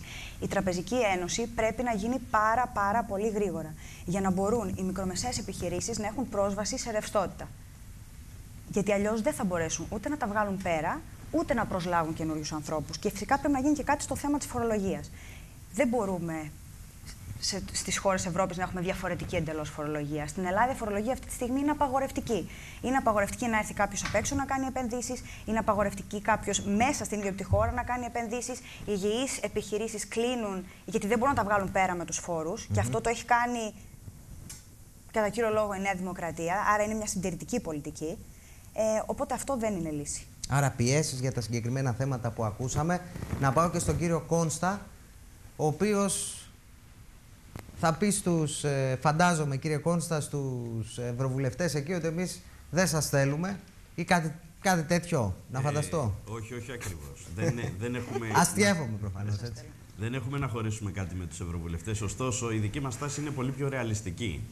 Ε, το πρόβλημα ε, που έχουμε εμείς είναι ε, το εθνικό θέμα μας αγγίζει πρώτα και μετά τα ζητήματα της Για πείτε μας ποια έχετε συγκεκριμένα στην ατζέντα σας εσείς; Το κυριότερο για μας είναι να μπούμε στο Ευρωπαϊκό Κοινοβούλιο και να δώσουμε δημοσιότητα στην έκθεση του Ευρωπαϊκού Κοινοβουλίου της 14ης Μαρτίου 2014 που όλοι την αποσιωπούν για την παράνομη δραστηριότητα της Τρόικας στην Ελλάδα. Προτεραιότητά μας είναι να πούμε στους Ευρωπαίους ότι ο όλος μηχανισμός της Τρόικας στην Ελλάδα είναι αντίθετος με τις ευρωπαϊκές συνθήκες. Προτεραιότητά μας είναι να πούμε στους Ευρωπαίους ότι αυτή τη στιγμή στην Ελλάδα επιλεκτικά, ρατσιστικά ουσιαστικά, παραβιάζεται όλη η Ευρωπαϊκή Χάρτα ε, Ατομικών, Κοινωνικών και Πολιτικών Δικαιωμάτων της ίδιας της Ευρωπαϊκής Ένωσης. Το κάνουν, το παραβιάζουν και το κάνουν εν γνώση τους. Προτεραιότητά μας είναι να επιστήσουμε τον κίνδυνο να ε, καταλάβουν όλοι, όχι τόσο οι ευρωβουλευτές, γιατί δεν έχω και ιδιαίτερη εμπιστοσύνη σε αυτούς, να καταλάβουν οι λαοί της Ευρώπης ότι για παράδειγμα ο Ευρωπαϊκός Μηχανισμός Στήριξης είναι και αυτός αντίθετος με τις συνθήκες της Ευρωπαϊκής Ένωσης. Η Ευρωπαϊκή Ένωση υποτίθεται ότι ξεκίνησε ως Ένωση Ευρωπαϊκών Κρατών που επιδιώκει την ευημερία και την ειρήνη. Άμα δείτε εσείς στην Ελλάδα ευημερία και με ευθύνη της Ευρωπαϊκής Ένωσης, ελάτε να μου το πείτε. Επομένως η ατζέντα διαμορφώνεται από αυτά τα πράγματα, γιατί όλα τα άλλα περί απασχόλησης, περί κοινής ενεργειακής πολιτικής, είναι ευχολόγια. Είναι δεδομένο ότι αυτή τη στιγμή η Ευρώπη δεν υπολογίζει την Ελλάδα. Ε, λοιπόν θα πρέπει να μάθει να την υπολογίζει, να καθίσει να την ακούσει. Γιατί διαφορετικά δεν έχει λόγο ύπαρξης κανέναν. Δεν προσφέρει τίποτα σε κανέναν. Το Free Trade Agreement είναι, είναι συμφωνία για τους ισχυρούς. Δεν πρόκειται να κερδίσει τίποτα κανένας λαός. Πρώτα απ' όλα, για ποια ενοποίηση φορολογίας μιλάμε και κοινή πρόσβαση των επιχειρήσεων σε τραπεζικά δάνεια όταν αυτό το πράγμα δεν έχει γίνει από ιδρύσεως της Ευρωπαϊκής Ένωσης. Ποτέ δεν έχει γίνει. Και είναι, είναι ένα κενό που θα μπορούσε η Ευρωπαϊκή Τράπεζα Επενδύσεων, αν όντως ήθελα να κάνουν τέτοια πολιτική, να το έχει καλύψει πολύ καιρό τώρα. Δεν το έχει κάνει. Δηλαδή το ΕΣΠΑ για την νεανική επιχειρηματικότητα από πού έρχεται, κύριε Κόνστα. Ποιος έχει πάρει ΕΣΠΑ για την, επιχειρηματική, για την νεανική επιχειρηματικότητα. Δεν υπάρχει καμία ελληνική επιχείρηση που έχει πάρει ΕΣΠΑ για την νεανική επιχειρηματικότητα. Αυτό θέλετε να πείτε; Και Είστε θα... σίγουρος γι' αυτό; Όχι, δεν εννοώ αυτό. Δεν λέω ότι δεν το έχει πάρει. Εννοώ Ευρωπαϊκό πρόγραμμα δεν είναι; Τι θα μπορέσει να κάνει είναι το θέμα. Έχετε κάνει τη φορολογική σας δήλωση; Βεβαίως, την έχω κάνει και θεωρώ ότι πρέπει να αλλάξει το σύστημα. Ε, είδατε τι έχετε να πληρώσετε. Η φορολογία όμως, κύριε Κόνστα, δεν είναι ευρωπαϊκό θέμα. Δεν είναι ευρωπαϊκής αρμοδιότητας. Η συνάδελφος από δίπλα είπε ότι πρέπει να ενοποιηθεί η φορολογία. Είναι υποκριτικό όμως να υποστηρίζεις ότι με κάποια έσπα θα θεραπεύσεις τις παθογένειες ενός συστήματος όταν έρχεται η Ευρωπαϊκή Ένωση με την Τρόικα και σου λέει ότι στην Ελλάδα θα σε πεθάνω. Θα πληρώνεις φόρους μέχρι να πεθάνεις. Τα δε περί τέλους μνημονίων κλπ είναι φύκια για μεταξωτές κορδέλες. Ποιο τέλος των μνημονίων. Για να τελειώσει το μνημόνιο, αν συνεχιστεί η πολιτική που αυτή τη στιγμή υποστηρίζετε, θα φτάσετε ναι. εσείς στην ηλικία μου. Κύριε και δεν θα έχει τελειώσει ακόμα. Μια άνω τελεία, ναι, κυρία Γιάννα, ναι. Ε, Τοποθετηθείτε. Εγώ και νομίζω πολλοί από εμάς ε, δεν πιστεύουν ότι τη χρεοκοπία της Ελλάδας την έφερε το μνημόνιο. Ούτε την έφερε η Ευρώπη. Δεν ευθύνεται η Ευρώπη για το πελατειακό κράτος που είχαμε αναπτύξει στην Ελλάδα και για τις παθογένειες όλου του συστήματος. Ευθύνονται τα δύο μεγάλα κόμματα που μας κυβέρνησαν, Νέα Δημοκρατία και Πασόκ. Και φυσικά λιγότερες ευθύνες έχουν και τα μικρότερα που ήταν μέσα στη Βουλή και έκαναν λάθος αντιπολίτευση όλα αυτά τα χρόνια. Ξοδεύαμε παραπάνω από όσα βγάζαμε. Ε, είχαμε διαφθορά σε όλα τα επίπεδα, από τα πανεπιστήμια μέχρι δεν ξέρω κι εγώ σε ποιο Υπουργείο. Και ξαφνικά λέμε ότι για τη διαφθορά αυτή και για το πελατειακό σύστημα αυτό φταίει ο Γερμανός, ο Ολλανδός, δεν ξέρω κι εγώ ποιος, και η Ευρώπη. Γιατί; Δηλαδή, συγγνώμη, μόνο εγώ το έχω ζήσει από τη μικρό μεσαία επιχείρηση του μπαμπά μου, όταν έχει πάει εφοριακός και του λέει ότι ξέρεις τι, πρέπει να μου δώσεις χρήματα για να μην, για να μην σου ελέγξω τα βιβλία. Αυτός ο εφοριακός δηλαδή ήταν Γερμανός, ε, σταλμένος από τη Μέρκελ. Ε, δεν, δηλαδή, όχι. Ωραία, είναι η άποψή σας. Ε, Κυρία Τσουλάκου, ναι, θέλετε ναι, να, πείτε κάτι; Επειδή ε, υπόθηκε κάτι σαν αντιπαράθεση σε αυτά που είπα, να δώσω κι εγώ τη δική μου χρειά. Ε, πρώτα απ' όλα ότι ο ΣΥΡΙΖΑ δεν έχει πολύ μεγάλα ποσοστά και η Ευρωπαϊκή Αριστερά είναι έκτο κόμμα, σαφώς και γνωρίζω την κατάσταση. Ε, όμως, ε, εγώ επειδή δεν γνωρίζω μόνο από ποσοστά και ε, ποσοστά εκλογών, ε, έχω ταξιδέψει στην Ευρώπη, ε, βλέπω τα κινήματα αλληλεγγύης που υπάρχουν. Η λιτότητα δεν είναι μόνο ευρωπαϊκό φαινόμενο, συγγνώμη, δεν είναι μόνο ελληνικό φαινόμενο, είναι ευρωπαϊκό. Οπότε ε, θεωρώ ότι μία νίκη του ΣΥΡΙΖΑ σε επερχόμενες ευρωεκλογές θα είναι απλά ένα πρώτο βήμα.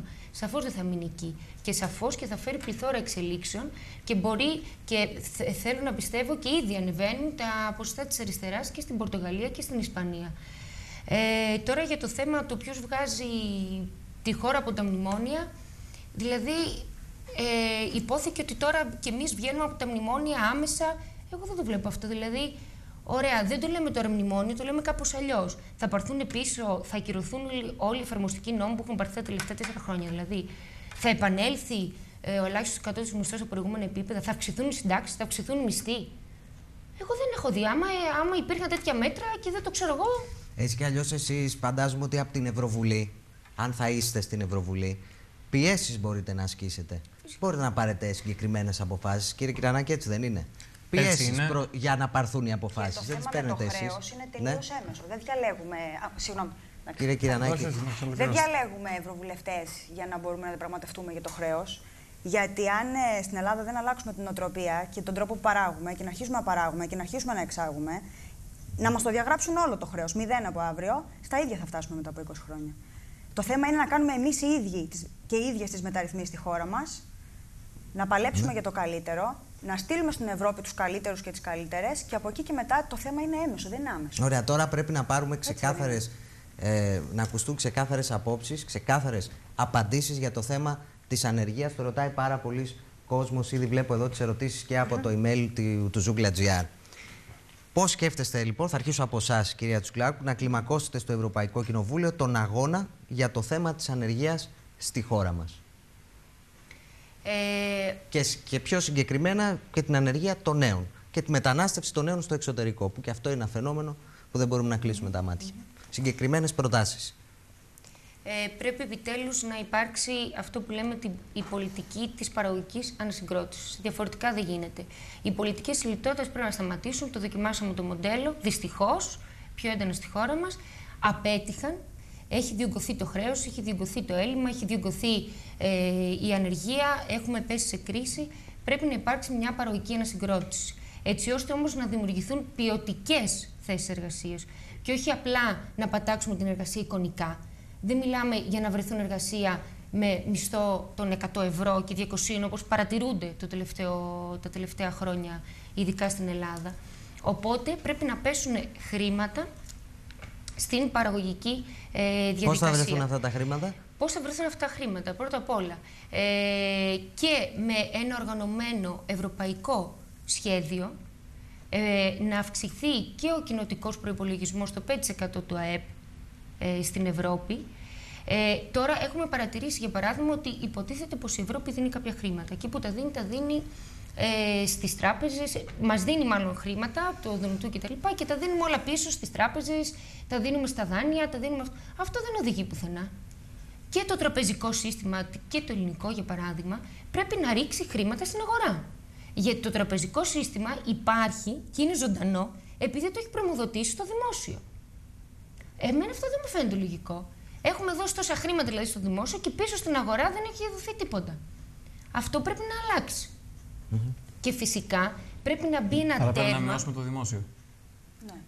Όχι. Εγώ είπα ότι το τραπεζικό σύστημα το οποίο κανονικά τώρα ισχύει στο δημόσιο, ε, συγγνώμη, ανήκει, θα έπρεπε να ανήκει στο δημόσιο, γιατί το δημόσιο το έχει πρημοδοτήσει, το δημόσιο ευθύνεται που είναι ζωντανό τραπεζικό σύστημα. Το τραπεζικό λοιπόν αυτό σύστημα, σαν άμεσο ε, σχέδιο να κάνει επενδυτικά προγράμματα μέσα στην Ελλάδα. Και όχι να τα κρατάει για να τα δίνει σε μεγαλοβιομηχάνους ή να δίνει δάνεια στα μίντια ή να δίνει δάνεια δεν ξέρω εγώ πού.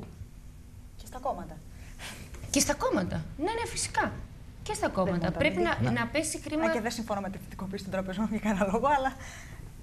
Πρέπει να πέσει χρήμα δηλαδή. Ολοκληρώστε για να πάμε. Ε, ναι. ναι, τώρα κάτι άλλο θέλω να πω και το ερώτημα, το ερώτημα ήταν συγκεκριμένες προτάσεις για την αντιμετώπιση της ανεργίας. Πρέπει να συντομεύουμε λίγο στις απαντήσεις μας από εδώ και πέρα. Έχουν περάσει ήδη τα πρώτα 45 λεπτά για να δοθούν και απαντήσεις για, και για άλλα σημαντικά θέματα. Ολοκληρώστε. Ε, Α ολοκληρώσω γιατί τώρα δεν το θυμάμαι. Άμα μου ήρθε θα το Κύριε καθυστερώ. Προτάσεις συγκεκριμένες για τη μείωση της ανεργίας και ειδικά των νέων και του φαινομένου φυσικά της μετανάστευσης στο εξωτερικό. Ωραία. Εγώ το πλάνο που ανέφερα πριν ε, τριών σημείων θα σας αναλύσω, το οποίο έχουμε πετυχημένα ε, καταφέρει να περάσουμε και στο, στο Ευρωπαϊκό Κοινοβούλιο. Ε, η πρώτη πρόταση είναι η εξής. Πρέπει να συνδέσουμε φορολογικά κίνητρα με την απασχόληση. Αυτό μπορεί να γίνει με έναν απλό τρόπο.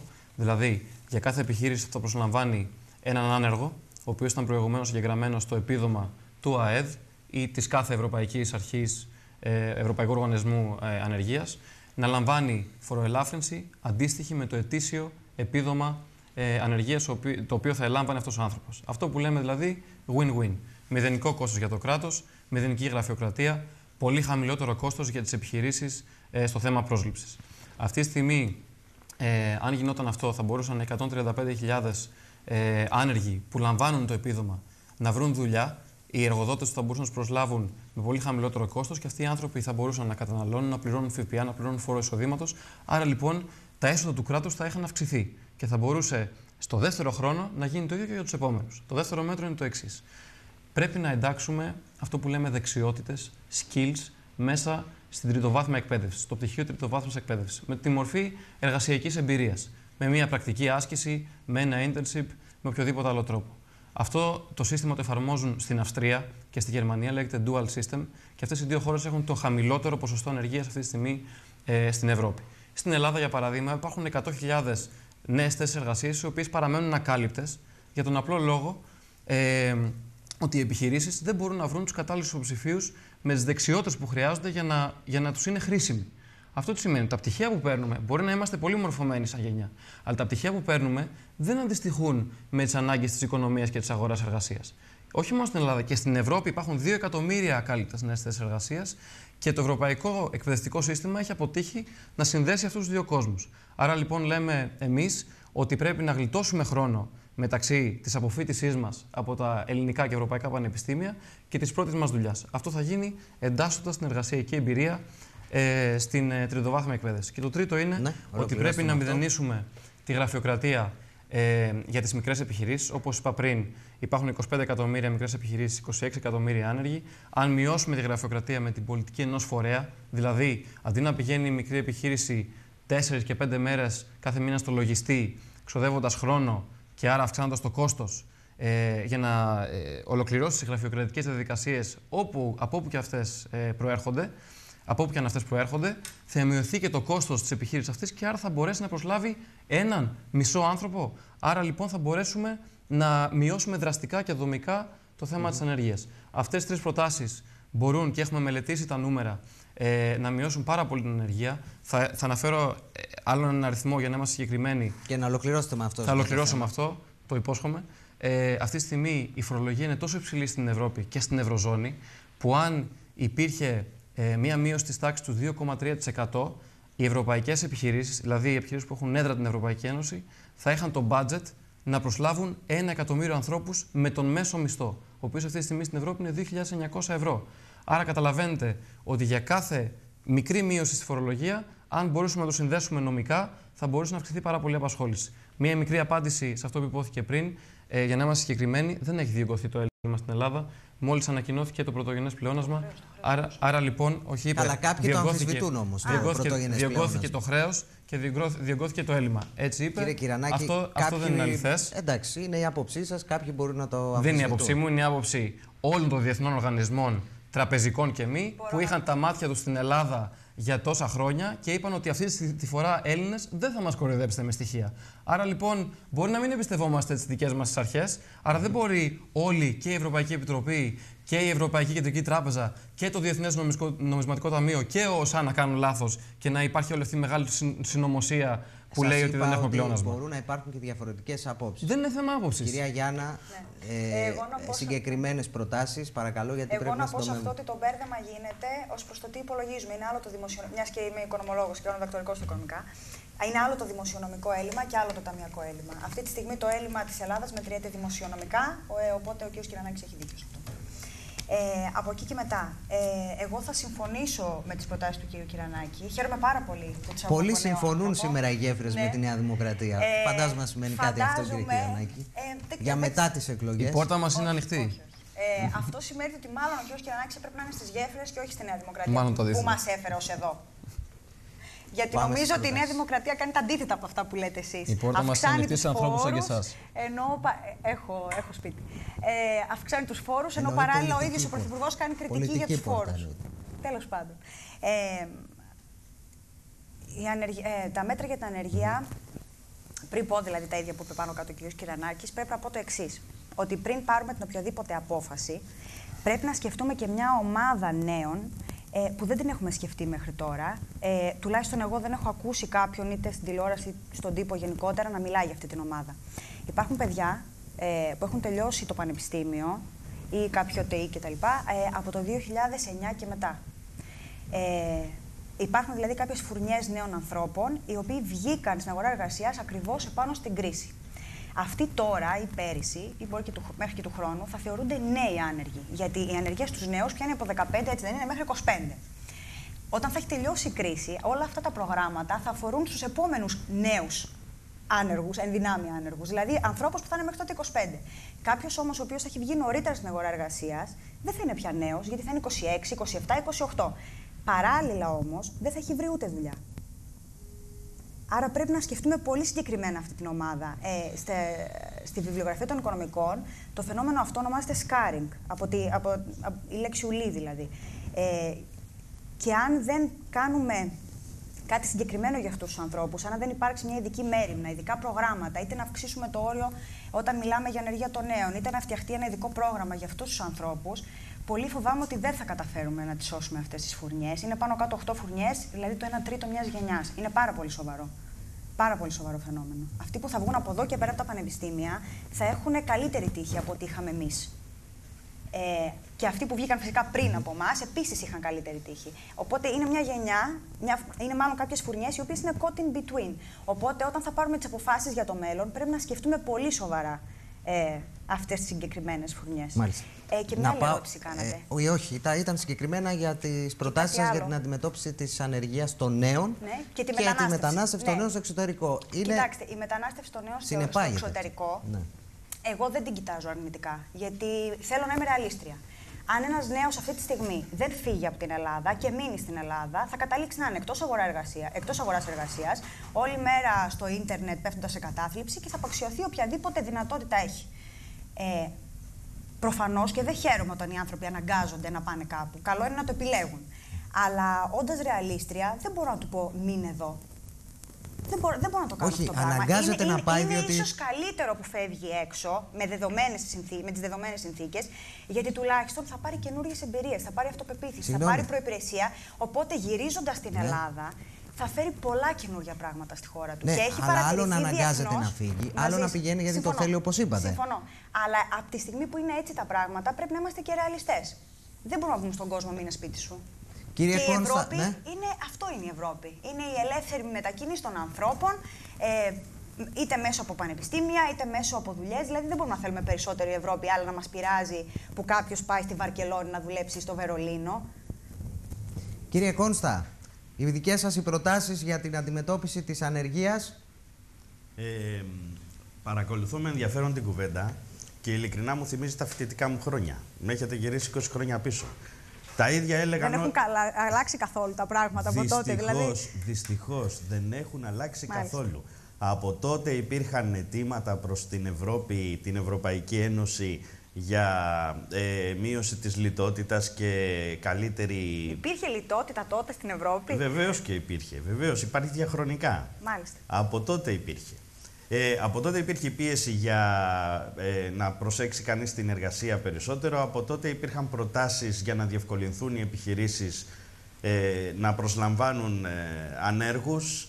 Από τότε υπήρχαν προτάσεις που έλεγαν ότι πρέπει παιδιά να τα αφήσουμε όλα πιο ελεύθερα, να είμαστε πιο πρακτικοί για να μπορέσουν να αναπτυχθούν. Αλλά δυστυχώς πολύ λίγα πράγματα έχουν γίνει. Και αυτό οφείλεται στο γεγονός ότι το Ευρωπαϊκό Κοινοβούλιο από τότε μέχρι και τώρα παραμένει ευνουχισμένο. Κύριε Κόνστα, Βλέποντας σας- προτάσεις να ακούσουμε, σας λοιπόν, παρακαλώ. οι προτάσεις... Αυτή ήταν η ερώτηση. Ναι, ναι, βεβαίως. Ε, εάν δεν γίνει κάτι με τη ρύθμιση του υποτιθέμενου χρέους της χώρας μας, γιατί εμείς δεν το αναγνωρίζουμε αυτό το χρέος ως νόμιμο, δεν πρόκειται να δοθεί η δυνατότητα ή να υπάρχει ρευστότητα για να γίνουν πολιτικές, να πραγματοποιηθούν πολιτικές οι οποίες θα καταπολεμήσουν την ανεργία. Δεν υπάρχει. Χωρίς ρευστότητα δεν μπορείς να το κάνεις αυτό. Η ανεργία καταπολεμάται μόνο μέσα από ένα οργανωμένο πρόγραμμα δημοσίων επενδύσεων που θα δημιουργήσει θέσεις εργασίας. Αυτό το πράγμα, σύμφωνα με τη συνθήκη της Ευρωπαϊκής Ένωσης, θεωρείται κρατική ενίσχυση και είναι παράνομο. Άρα, το βασικό φάρμακο για την καταπολέμηση της ανεργίας, σύμφωνα με τη συνθήκη της Ευρωπαϊκής Ένωσης, είναι παράνομο. Επομένως, η λύση θα πρέπει δυστυχώς να δοθεί εκ των έσω. Εγώ πλέον από την Ευρώπη δεν περιμένω τίποτα. Έχω δει να αντιμετωπίζει τη χώρα μου με αυτόν τον εσχρό τρόπο, να σκοτώνει ανθρώπους μέσω των μνημονίων, οπότε νομίζω παρέλκει να πούμε το οτιδήποτε για δίθεν ε, πολιτικές ενίσχυσης της εργασίας στην Ευρώπη, σε μια χώρα όπου η ανεργία των νέων αυτή τη στιγμή είναι 60%. Αυτό το ξεχνάμε. Όταν μιλάμε, οι υπόλοιποι κάνουμε καθαρά φιλολογικές συζητήσεις όταν έχουμε 60%. Και θα σας φέρω ένα τελευταίο παράδειγμα και με αυτό θα κλείσω. Έχω ξάδερφο ο οποίος είναι πολύ νεότερος από μένα, πάνω από 10 χρόνια νεότερος, ο οποίος είναι απόφυτος, είναι πτυχιούχος του Εθνικού Μετσόβιου Πολυτεχνείου Μηχανικός ε, Ηλεκτρονικών Υπολογιστών. Έχει πρωτεύσει σε πανευρωπαϊκό διαγωνισμό της Microsoft και πήγε να βρει δουλειά στην Αγγλία, γιατί βέβαια δεν μπορούσε να βρει δουλειά εδώ. Εκεί λοιπόν για μία θέση, μισό λεπτό, για μία θέση που ο μισθός κανονικά θα ήταν 3,5 με 4.000 λίρες το μήνα, του είπανε 2.800. Και όταν τους λέει, δέχτηκε βέβαια έτσι, δεν είχε άλλη επιλογή, όταν όμως γύρισε και τους είπε, μα καλά, αφού στους άλλους δίνετε 3,5 με 4.000 με 4.000 λίρες το μήνα, γιατί σε μένα 2.800, του, η απάντηση ήταν γιατί εσύ είσαι Έλληνας και έχεις ανάγκη και δεν μπορείς να κάνεις διαφορετικά. Αυτή είναι η Ευρώπη. Τέτοια είναι, Ευρώπη εμείς δεν τη θέλουμε. Είναι μία από τις ερωτήσεις, ε, κύριε Κόνστα, που έχουν έρθει από τηλεθεατές. Αν πιστεύετε, ρωτήστε τους υποψήφιους, αν πιστεύουν ότι, ότι οι Ευρωπαίοι μας βλέπουν με σεβασμό και αν δεν μας βλέπουν με σεβασμό, λένε εδώ, πώς θα τους κάνετε να μας βλέπουν με σεβασμό. Τώρα, θέλω να περάσω στο πρώτο διαφημιστικό διάλειμμα. Μετά από αυτό το διάλειμμα συνεχίζεται το debate Υπάρχουν άλλα θέματα που πρέπει να συζητήσουμε, όπως είναι τα εθνικά, εθνικά θέματα, η παράνομη μετανάστευση και φυσικά ερωτήσεις τηλεθεατών που έχουν έρθει στο email και τώρα στο διάλειμμα θα τις διαβάσω. Διάλειμμα και επιστρέφω.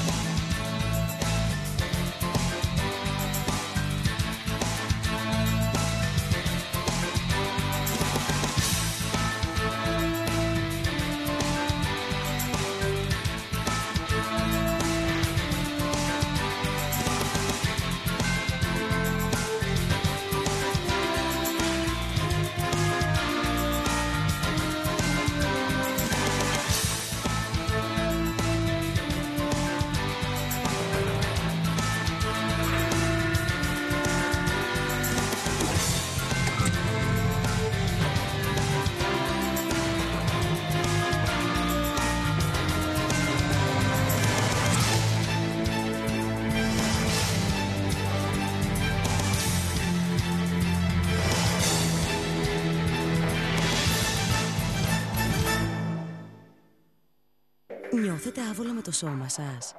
Υποδεχτείτε την τεχνολογική επανάσταση στην καταπολέμηση της κυταρίτιδας. Νέο καλσόν Nanobionic Anti-Cellulline.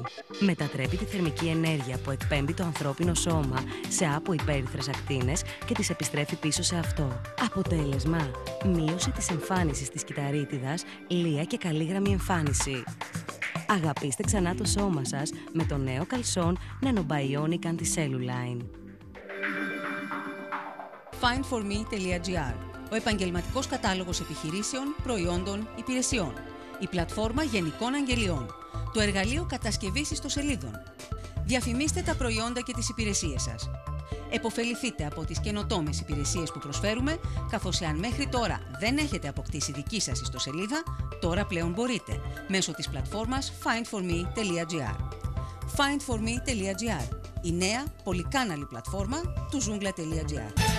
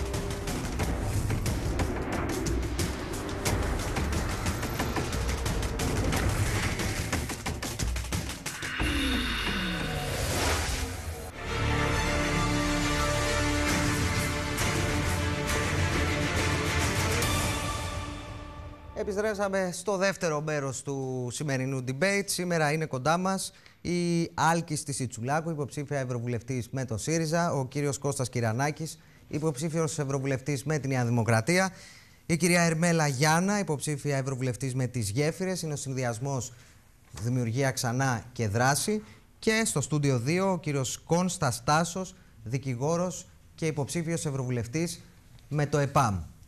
Οι ερωτήσεις συνεχίζονται, τώρα μπαίνουμε στο δεύτερο ουσιαστικά γύρο και αυτό που θα συζητήσουμε και θα περιμένουμε απαντήσεις από εσά είναι φυσικά τα εθνικά μας θέματα αλλά και το θέμα της παράνομης μετανάστευσης στη χώρα. Και περιμένουμε να ακούσουμε συγκεκριμένες προτάσεις. Κυρία Τσουλάκου, αρχίσω από εσάς, υποψήφια ευρωβουλευτής με το ΣΥΡΙΖΑ και να σας ρωτήσω λοιπόν Ποιες είναι οι προτάσεις σας για το θέμα της παράνομης μετανάστευσης και πώς πιστεύετε ότι μπορείτε να πείσετε τους Ευρωπαίους εταίρους, αν τελικά μπείτε στην Ευρωβουλή, να κάνουν κάτι γι' αυτό. Ε, εδώ πρέπει να τονίσω ότι οι μετανάστες πρέπει να τους συνειδητοποιήσουμε όλοι μας ότι είναι θύματα, δεν είναι θύτες. Οι μετανάστες είναι αποτέλεσμα των πολιτικών που ακολουθούνται σε παγκόσμιο επίπεδο ε, τα τελευταία χρόνια οι οποίοι δημιουργούν μία μάζα ανθρώπων η οποία διώκεται βία από τη χώρα της και προσπαθεί να βρει ένα άλλο, μια, έναν άλλο χώρο, μια άλλη χώρα, συγγνώμη, για να μπορέσει να βρει δουλειά. Είναι θέμα επιβίωσης, είναι θέμα διαβίωσης, ε, δουλειά, να έχει ζωή, να είναι ελεύθερος, ε, αυτονόητα πράγματα που εμείς ε, εκτός από την αργία δεν έχουμε δει μέχρι στιγμής.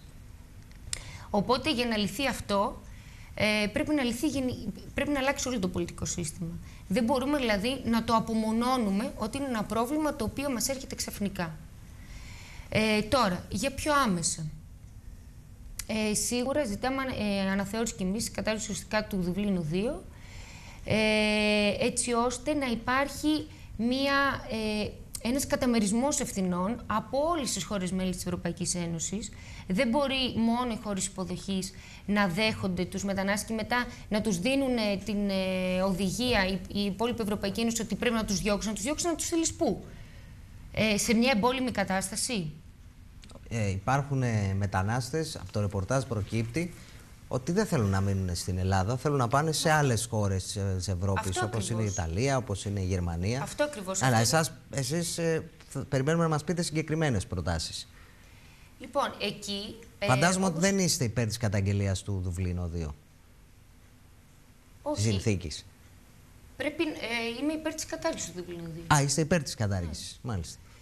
Ε, από εκεί πέρα πρέπει να, να δοθούν και χαρτιά ε, ταξιδιωτικά, όπως το μπορούσαμε να πούμε, δηλαδή να δώσει τη δυνατότητα σε αυτούς τους ανθρώπους που όπως είπες και εσύ δεν θέλουν να μείνουν στην Ελλάδα, να τους δώσει τη δυνατότητα να πάνε στη χώρα που θέλουν, έτσι ώστε εκεί, γι' αυτό λέω, για κατανομή εισάξια της ε, μετανάστευσης, πρέπει αυτοί οι άνθρωποι να διανεμηθούν. Για παράδειγμα, είναι πολύ Απλά επειδή είμαστε το τελευταίο ή το πρώτο, να το πούμε, κράτος από την Ανατολή, έρχονται εδώ και θέλουν να πάνε σε χώρες της υπόλοιπης Δυτικής Ευρώπης. Πρέπει να τους δώσει αυτή τη δυνατότητα. Εδώ τους κρατάμε και τους κάνουμε τι; Ούτε πίσω μπορείς να τους στείλεις, ούτε σε αφήνει να τους πας προς την υπόλοιπη Ευρωπαϊκή Ένωση επειδή έχεις υπογράψει συνθήκη. Άρα... Μάλιστα. Κύριε Κυριανάκη. Δύο απλά πράγματα πρέπει να γίνουν, ε, θεωρώ εγώ και καταθέσαμε αυτές τις δύο προτάσεις ε, από το νησί της Λαμπεντούζα ε, λίγο μετά την τραγωδία ε, που έγινε πρόσφατα. Ε, πρέπει να σταματήσει καταρχάς αυτή η κατάσταση και η αντίληψη του κάθε εμπόρου ανθρώπων ε, που, κάνουν, που διαδελούν αυτά τα φρικτά εγκλήματα και θεωρούν ότι με μια απλή βαρκούλα μπορούν να διασχίσουν τη Μεσόγειο ή το Αιγαίο και να πάρουν την ευθύνη δεχόμενοι πολλά χρήματα, χρήματα που δεν έχουν αυτοί οι άνθρωποι, ερχόμενοι από εμπόλεμες καταστάσεις ε, όπως αναφέρθηκε, ε, με ρίσκο τις ζωές τους και πολλές φορές και τις ζωές ε, των αγέννητων παιδιών τους. Έτσι. Πρέπει να σταματήσει λοιπόν αυτή η κατάσταση και αυτό θα σταματήσει μόνο αν η Frontex λειτουργήσει πραγματικά ως ε, ε, με, με επιχειρησιακό χαρακτήρα σε όλη τη Μεσόγειο και αντί να δίνουμε χρήματα στα κέντρα ε, παράνομης μετανάστευσης, να δίνουμε ε, στην προστασία της Μεσογείου.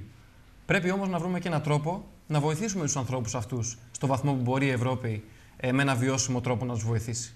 Γιατί προφανώς ε, δεν μπορεί να τους βοηθήσει όλους. Άρα λοιπόν, αυτή τη στιγμή έχουμε πρεσβείες ε, της Ευρωπαϊκής Ένωσης.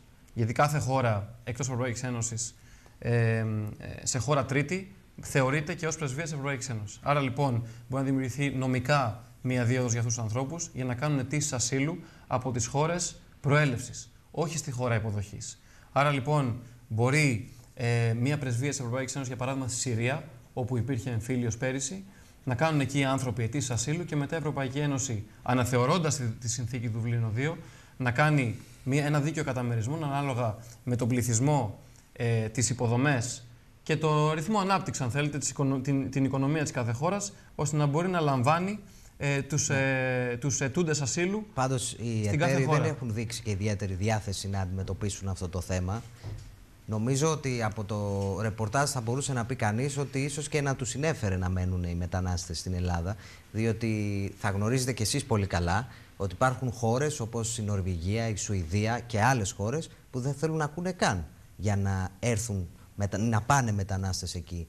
Άρα, τι δυνατότητα έχει πια ένας Ευρωβουλευτής εκτός από το να ασκεί πιέσεις να μπορέσει να δώσει λύση σε αυτό το θέμα; Ναι, θα μου επιτρέψετε να σας διορθώσω, γιατί στην ε, Σουηδία και την Νορβηγία αυτή τη στιγμή υπάρχει ο μεγαλύτερος αριθμός αιτήσεων ασύλου σε αναλογία, σε αναλογία με τον, ε, ναι, με, τον πληθυσμό. Δεν δε, δέχεται. Η Σουηδία, όχι, δέχεται, κάνετε λάθος. Δέχεται, δέχεται βεβαίω η Σουηδία και υπάρχει και ένα πολύ σωστό σύστημα ε, ένταξης των μεταναστών αυτών στην, ε, στην κοινωνία και στην οικονομία του κράτου ώστε να είναι χρήσιμη και να μπορούν να παράγουν με έναν νόμιμο τρόπο. Συγκεκριμένο αριθμό όμως. Εκεί Συγκεκριμένο. Άρα λοιπόν η Ευρώπη μπορεί με τα δεδομένα που έχει σήμερα και φτιάχνοντας ένα σύστημα αιτήσεων ασύλου από τις χώρες προέλευσης, όχι από τις χώρες υποδοχής, όπου πια δεν μπορεί να αντιδράσει και όλες οι κινήσεις γίνονται βιαστικά και άτσαλα, να μπορεί να λέει σε αυτή τη χώρα θα στείλω τόσους, σε αυτή τη χώρα θα στείλω τόσους, ώστε και αυτοί οι άνθρωποι να μπορέσουν να ζήσουν όχι με συνθήκες των απαράδεκτων αυτών κέντρων μετανάστευσης που λειτουργούν σήμερα, αλλά με συνθήκες πραγματικής ζωής. Άρα λοιπόν, ε, νομίζω ότι δεν είναι η θέση του ΣΥΡΙΖΑ αυτή που αναφέρατε για την αναθεώρηση του Δουβλίνου 2 και για τον ίσο καταμερισμό ε, στην υπόλοιπη Ευρώπη. Μπράβο σας το θεωρείτε, αλλά δεν είναι η θέση του ΣΥΡΙΖΑ αυτή. Και πρέπει, υπάρχουν αυτή τη στιγμή συμμαχίες στο Ευρωκοινοβούλιο με την Ιρλανδία, τη Μάλτα, ε, τις χώρες του Νότου, τη Γαλλία, που θέλουν αναθεώρηση του Δουβλίνου 2. Κάθε χώρα φυσικά θέλει να προστατεύσει τα δικά της συμφέροντα. Άρα αυτό είναι ένα ευρωπαϊκό αυτό πρόβλημα. Αυτό, αυτό είναι ευρωπαϊκό πρόβλημα και έχει, έχουν δυναμώσει οι φωνές που το θεωρούν ευρωπαϊκό πρόβλημα και άρα η λύση πρέπει να είναι ευρωπαϊκή. Κυρία Γιάννα. Λοιπόν, ε, εγώ δεν είμαι ειδικός στο θέμα και ούτε θα παριστάνω ότι είμαι ειδικός. Ε, αυτό που διάβασα όμως είναι ότι κατά τη διάρκεια της κρίσης περισσότεροι άνθρωποι από την Πορτογαλία πήγαν στην Αγγόλα παρά το αντίστροφο. Αυτό σημαίνει ότι όταν μιλάμε για τη μετανάστευση πρέπει να έχουμε λίγο τα μυαλά μας ανοιχτά. Και κατά επέκταση και τα σύνορά μας δεν είναι ανοιχτά. Εγώ θα συμφωνήσω με την κυρία Τσουλάκου, η οποία είπε προηγουμένως και πολύ σωστά ότι ένας άνθρωπος δεν σηκώνεται ξαφνικά το πρωί από τη Συρία να πάρει μια βαρκούλα και να πάει στην Ευρώπη επειδή έτσι του ήρθε στο κεφάλι, το είδε στο όνειρό του. Έχει διωχθεί πολιτικά, υπάρχει εμπόλεμη κατάσταση, είναι κρίσιμα τα πράγματα, υπάρχει πόλεμος κτλ, κτλ, κτλ. Άρα, από τη στιγμή που η Ευρωπαϊκή Ένωση διατείνεται και πολύ καλά κάνει ε, για την προάσπιση των ανθρωπίνων δικαιωμάτων, πρέπει το συγκεκριμένο θέμα να το, να το αντιμετωπίζει ανοιχτόμυαλα και με μεγάλη ευαισθησία. Ε, θα διαφωνήσω με, με το θέμα της Frontex. Καταρχάς, δεν πιστεύω ότι η Μεσόγειος κινδυνεύει από τους μετανάστες. Δεν είπα αυτό. Είπατε ότι πρέπει να προστατέψουμε Είπα τη Μεσόγειο. Είπα ότι οι μετανάστες κινδυνεύουν ε, στη Μεσόγειο πρέπει... γιατί δεν έχουν ένα σωστό και ασφαλή τρόπο για να μεταβούν εκεί πέρα. Αυτό το είπατε το μετά. Είπα. Αρχικά είπατε ότι πρέπει να προστατέψουμε τη Μεσόγειο. Λοιπόν, εγώ δεν θεωρώ. Τις ζωές τους είπα ότι πρέπει να προστατέψουμε. αφού το διορθώνετε, OK. Okay. Δεν, δεν το διορθώνω, έτσι είπα. Δεν είπατε αυτό. Ε, και το θέμα με τη Frontex είναι ότι υπάρχει ένα, είναι, είναι μια, ένα αμφιλεγόμενο agency της Ευρωπαϊκής Ένωσης ε, γιατί δεν, δεν ξέρουμε πού λογοδοτεί. Mm-hmm. Και οι επιχειρήσεις της δεν, δεν, έχουν, δεν υπάρχει μεγάλη διαφάνεια ως προς επιχειρήσεις συγκεκριμένης, ε, του Μα συγκεκριμένου δεν agency. αυτή τη στιγμή η Frontex. Οπότε είναι λίγο αμφιλεγόμενο όλο αυτό. Ε, εγώ θεωρώ ε, και στις γέφυρες πιστεύουμε το ίδιο ε, ότι σε ευρωπαϊκό επίπεδο πρέπει να γίνει πιο χαλαρή χορήγηση βίζας σε ανθρώπους από τρίτες χώρες γιατί μόνο έτσι, μόνο έτσι και ίσως και με κάποιους άλλους τρόπους ε, μπορούμε, ε, λίγο να μπορούμε να καταπολεμήσουμε το φαινόμενο του human trafficking. Το human trafficking δεν το καταπολεμάς με το να βάλεις όλη τη Frontex μπροστά, όλο το λιμενικό ή δεν ξέρω και εγώ τι άλλο. Το καταπολεμάς με το να μην δημιουργείς την ανάγκη να υπάρχει το φαινόμενο αυτό.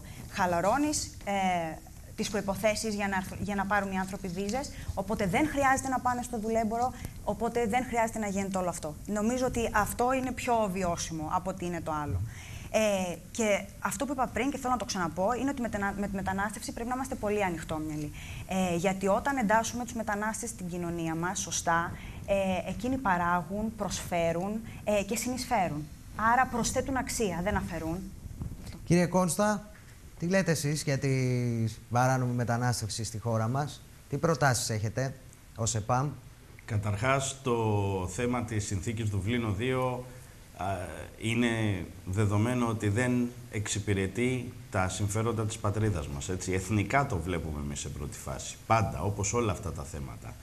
Άρα είναι μια συνθήκη που θα πρέπει να καταργηθεί, αν όχι να τροποποιηθεί και άμεσα. Ένα είναι αυτό. Το άλλο είναι ότι δεν πρέπει να ξεχνάμε πως και οι μετανάστες είναι άνθρωποι. Έτσι. Άρα πρέπει να αντιμετωπίζονται ανθρώπινα. Από την άλλη πρέπει πάλι κάποιος να λάβει υπόψη του ότι σε, στη χώρα μας φανταστείτε ότι είμαστε σε μια βάρκα, είμαστε κάποια άτομα. Εάν έρθουν πάρα πολλά άτομα από τη θάλασσα να βαγεί, κάποια στιγμή και ανε, προσπαθήσουν να ανέβουν στη βάρκα, κάποια στιγμή θα αναβαγίσουμε όλοι μαζί. Ξέρετε, συγγνώμη που σας διακόπτω, η οικονομική θεωρία αυτό το έχει διαψεύσει, διαψεύσει πάρα πολλά χρόνια τώρα. Δεν η οικονομία είναι, δεν είναι και μια χώρα δεν είναι μουσικές καρέκλες, θέσεις ενός λεωφορείου αριθμημένες, κάθιστε και όρθιοι, ίσα ίσα είναι ένα κορντεόν. Το οποίο, αν το χρησιμοποιήσεις σωστά, απλώνεται ή αλλιώς συρρυκνώνεται. Δεν το λέω εγώ, δεν προσπαθώ να το παίξω έξυπνη. Το λένε επιστήμονες πάρα πολλά χρόνια τώρα. Μπορεί και 200 χρόνια πριν να έχει καταρριφθεί αυτό που λέτε. Ότι άμα εισέλθουν πολλοί, η βάρκα θα βουλιάξει; Ναι. Αυτό το λέει η λογική και νομίζω ότι υπερτερεί της οικονομίας, αλλά δεν είναι εκεί το θέμα. Εγώ σας λέω τι λέει η επιστήμη. Τώρα εσείς μπορείτε, είναι η δική σας άποψη. Δεν μπορώ να, να σας κάνω αλλάξετε γνώμη προφανώς. Γι' αυτό υπάρχουν τα debate για να ακούγονται όλες τι πολιτικές απόψεις. Κύριε Κόνστα, πάμε Πάντως, σε μισο... ξεκάθαρες απαντήσεις. Ναι, ναι, ναι, ναι. Πέρα από την οικονομία, ξέρετε, υπάρχει και η κοινωνία. Και η κοινωνία έχει ορισμένες αντοχές, τις οποίες πρέπει να τις σεβόμαστε. Τέλος πάντων, η θέση του ΕΠΑΜ στο θέμα ε, είναι ότι στους ανθρώπους αυτούς, ιδίως σε εκείνους ε, επειδή με δεδομένο μάλλον ότι και οι περισσότεροι δεν έχουν καμία όρεξη να μείνουν στην Ελλάδα, ειδικά υπό τις παρούσες συνθήκες, πρέπει να χορηγούνται ταξιδιωτικά έγγραφα για να πηγαίνουν στον τελικό τους προορισμό. Πρέπει να αντιμετωπίζονται ανθρώπινα, πρέπει εννοείται να καταργηθεί η συνθήκη Δουβλίνο 2, διότι αυτή είναι καταστροφική όχι μόνο για όλες με τις χώρες που είναι, τα, που είναι και σύνορα της ε, Ευρωπαϊκής Ένωσης, αλλά ιδίως για τη χώρα μας. Αυτό θα μπορούσε να γίνει πάρα πολύ εύκολα. Πάρα πολύ εύκολα. Εάν αποφάσιζε η Ευρωπαϊκή Ένωση ότι με το επόμενο φορτίο λαθρομεταναστών που θα έρθει από την Τουρκία στην Ελλάδα σταματάνε οι ενταξιακές συνομιλίες μεταξύ Ελλάδος και, και Τουρκίας, σας διαβεβαιώ ότι αυτό το φαινόμενο θα κοβότανε με το μαχαίρι. Αλλά να το έκανε. Η Ευρωπαϊκή Ένωση όμως δυστυχώς και όταν μιλάμε για όλα αυτά τα ωραία θέματα πρέπει να το ναι. έχουμε κατά νου. Κύριε Κόνστα, Δεν το κάνει αυτό εσείς είστε, λέτε όχι στην Ευρωπαϊκή Ένωση. Ε, ναι, βέβαια, έτσι όπως έχεις καταδείξει. Άρα, ας υποθέσουμε λοιπόν ότι συνέβαινε αυτό. Πώς θα αντιμετωπίζατε την παράνομη μετανάστευση στη χώρα ως ΕΠΑΜ; Ότι συνέβαινε τι; Δεν, αφού είστε εναντίον της Ευρωπαϊκής Ένωσης, δεν υπάρχει Frontex. Ποιος θα εμπόδιζε τους μετανάστες να εισέλθουν στην Ελλάδα προκειμένου να πάνε σε άλλες χώρες; Δεν θα τους εμποδίζαμε εφόσον θέλανε να πάνε σε άλλες χώρες. Γιατί ναι. να τους εμποδίσουμε; Ναι, εάν, εάν, μισό λεπτό, μισό λεπτό. Εάν ένας μετανάστης θέλει απλά να έρθει στην Ελλάδα για να πάει σε άλλη χώρα, πολύ απλά θα του χορηγούσαμε ταξιδιωτικά έγγραφα για να πάει σε άλλη χώρα. Εγώ σας λέω τώρα, σας εξηγώ ότι το θέμα της μετανάστευσης. Αυτό δεν έχει... παράνομο, κύριε Κώστα. Θα ήταν παράνομο να το κάνετε εφόσον δεν, δεν ανήκετε σε μια Ευρωπαϊκή Ένωση. Δεν μπορεί να υπογράψετε ταξιδιωτικά έγγραφα προς έναν ε, οργανισμό στον οποίο δεν ανήκετε. Πώς θα το κάνετε αυτό, Εννοείται τώρα πριν βγούμε ή αφού βγούμε; Εσείς από την είπατε ότι Ευρωπαϊκή είστε υπέρ Ένωση. του να βγείτε από την Ευρωπαϊκή Ένωση. Βεβαίως. Και σε αυτό το Έτσι σημείο έχει όπως απόλυτο έχει δίκιο ο γίνει- κύριος Κυρανάκη. Από τη στιγμή λοιπόν που θα έχει βγει η Ελλάδα από την Ευρωπαϊκή Ένωση, ε, δεν θα έχει τις ίδιες σχέσεις με την Ευρωπαϊκή Ένωση. Ούτε τα παιδιά, οι φοιτητές και οι φοιτήτριες θα μπορούν να σπουδάζουν σε όποια χώρα της Ευρώπης θέλουν. Θα χρειάζονται, δεν ε, έχει μέχρι να και κάνει εμείς με θα την χρειαζόμαστε μετανάστευση. βίζα. Άρα δεν ξέρω πώς εσείς θα καταφέρνατε να δώσετε βίζα σε άλλους ανθρώπους όταν θα χρειαζόταν κι εσείς ο ίδιος. Αυτό, αυτό, αυτό δεν ρωτάτε. Ναι, βέβαια. Από τη στιγμή που θα βγούμε από την Ευρωπαϊκή Ένωση, δεν θα έχουμε τόσο μεγάλο πρόβλημα λαθρομετανάστευσης. Για ποιο λόγο το λέτε αυτό; Διότι εμείς είμαστε, έρχονται σε εμάς οι περισσότεροι τουλάχιστον μετανάστες, επειδή είμαστε η πύλη της Ευρωπαϊκής Ένωσης. Αν σταματήσουμε να είμαστε η πύλη της Ευρωπαϊκής Ένωσης, θα πηγαίνουν από Ιταλία, δεν θα έρχονται Μάλιστα. από εδώ. Είναι δεν θα η άποψή υπάρχει σας. τέτοιο θέμα. Θα πηγαίνουν από Βουλγαρία, θα έχουν άλλους τρόπους. Μα οι, Ωραία. μετανα... Και, οι, με... με- οι έτσι στην μετανάστες όλη- που έχουν μπει, συγγνώμη λίγο, οι μετανάστες που έχουν, έχουν μπει αυτή τη στιγμή στην Ευρώπη είναι περισσότεροι στην Ισπανία, μετά στην Ιταλία και μετά στην Ελλάδα. Αυτό συμβαίνει ήδη που λέτε. Αναλογικά λέτε. Φυσικά. Όχι αναλογικά, σε ποσοστά, σε απόλυτους αριθμούς. Σε Η, απόλυτους χω- αριθμούς η είναι. χώρα από την Το οποία θέμα μπήκαν είναι- περισσότεροι μετανάστες το 2012 το 2013 είναι η Ισπανία. Εγώ σας και η λέω αριθμή νομίζω είναι και της αναλογικά. Frontex, δεν είναι δική μου. Εγώ σας λέω αναλογικά να το πάρετε σε σχέση με την έκταση, τον πληθυσμό και τα οικονομικά μεγέθη της συγκεκριμένης χώρας, της εκάστοτε χώρας. Δηλαδή, ε, ε, νομίζω, αν δεν κάνω λάθος, διαψεύστε με, η χώρα μας είναι πολύ μικρότερη από την Ιταλία και την Ισπανία. Ωραία. Να μην μείνουμε σε αυτό. Θέλω να ολοκληρώσετε, κύριε Κόνστα, να πάμε και στα εθνικά μετά που είναι σημαντικά. Ε, εγώ να επιστρέψω στα εθνικά; Όχι, όχι. Να Ωραία. ολοκληρώσετε με το θέμα της παράνομης μετανάστευσης. Κάποια άλλη πρόταση; Όχι, σας είπα. Ωραία. Σε- Αυτό Άρα το λέτε- θέμα πρέπει να λυθεί σε επίπεδο ευρωπαϊκό. Η Ευρώπη εμάς ουσιαστικά μας έχει ως αποπέδια αυτή τη στιγμή. Άρα νομίζω ότι συζητάμε ε, περίπου άνευ αντικειμένου, τουλάχιστον όσον αφορά το θέμα της λαθρομετανάστευσης και τη σχέση του με την Ευρωπαϊκή Ένωση. Ωραία. Το Να- πρώτο βήμα είναι Ναι. σίγουρα η κατάργηση του Δουβλίνο 2. Έτσι. Αυτή η συ- η συνθήκη είναι καταστροφική.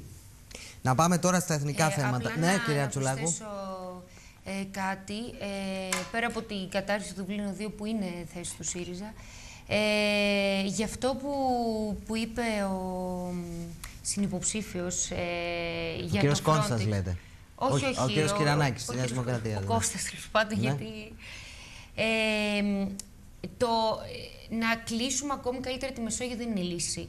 Και αυτό φαίνεται ε, και, απ- και από, τους τελευταίες, ε, τρα- από τα τελευταία τραγικά περιστατικά που είχαμε. Αυτό έγινε επειδή κλείσαμε καλύτερα τα σύνορα του Εύρου. Δεν, έχουν, δεν μπορούν να έρθουν από τα βόρεια, έρχονται από τη Μεσόγειο. Γι' αυτό έχουμε και όλη αυτή τη, του, τους θανάτους. Οπότε δεν είναι λύση αυτό. Να τα ανοίξουμε όλα τότε. Απλά είπα ότι δεν θα, θα φέρει τη λύση. Ωραία, είναι απόψεις που ακούγονται. Πάμε τώρα στα εθνικά θέματα που είναι και αυτά πολύ σοβαρά. Έχουμε την ελληνική ΑΟΣ. Έχουμε επίσης την επίλυση του Κυπριακού, την ονομασία των Σκοπίων, αλλά και τις γερμανικές αποζημιώσεις. Αυτά είναι τα εθνικά θέματα που μας απασχολούν κυρίως αυτή τη στιγμή, αυτή την περίοδο. Θέλω να ακούσω από τον καθένα σας τι πιστεύετε για το κάθε ένα ξεχωριστά. Κυρία Τσουλάκου, να αρχίσουμε από εσάς. Είναι ελληνική ΑΟΣ, επίλυση του Κυπριακού, ονομασία των Σκοπίων και γερμανικές αποζημιώσεις. Ε, πρέπει να μου ότι δεν είμαι γνώστης σε, σε όλα αυτά. Ε, θα, Κανείς μας νομίζω, ε, οπότε. θα ξεκινήσω, ναι, γιατί με πιάνετε λίγο... Ήταν δύσκολη ερώτηση.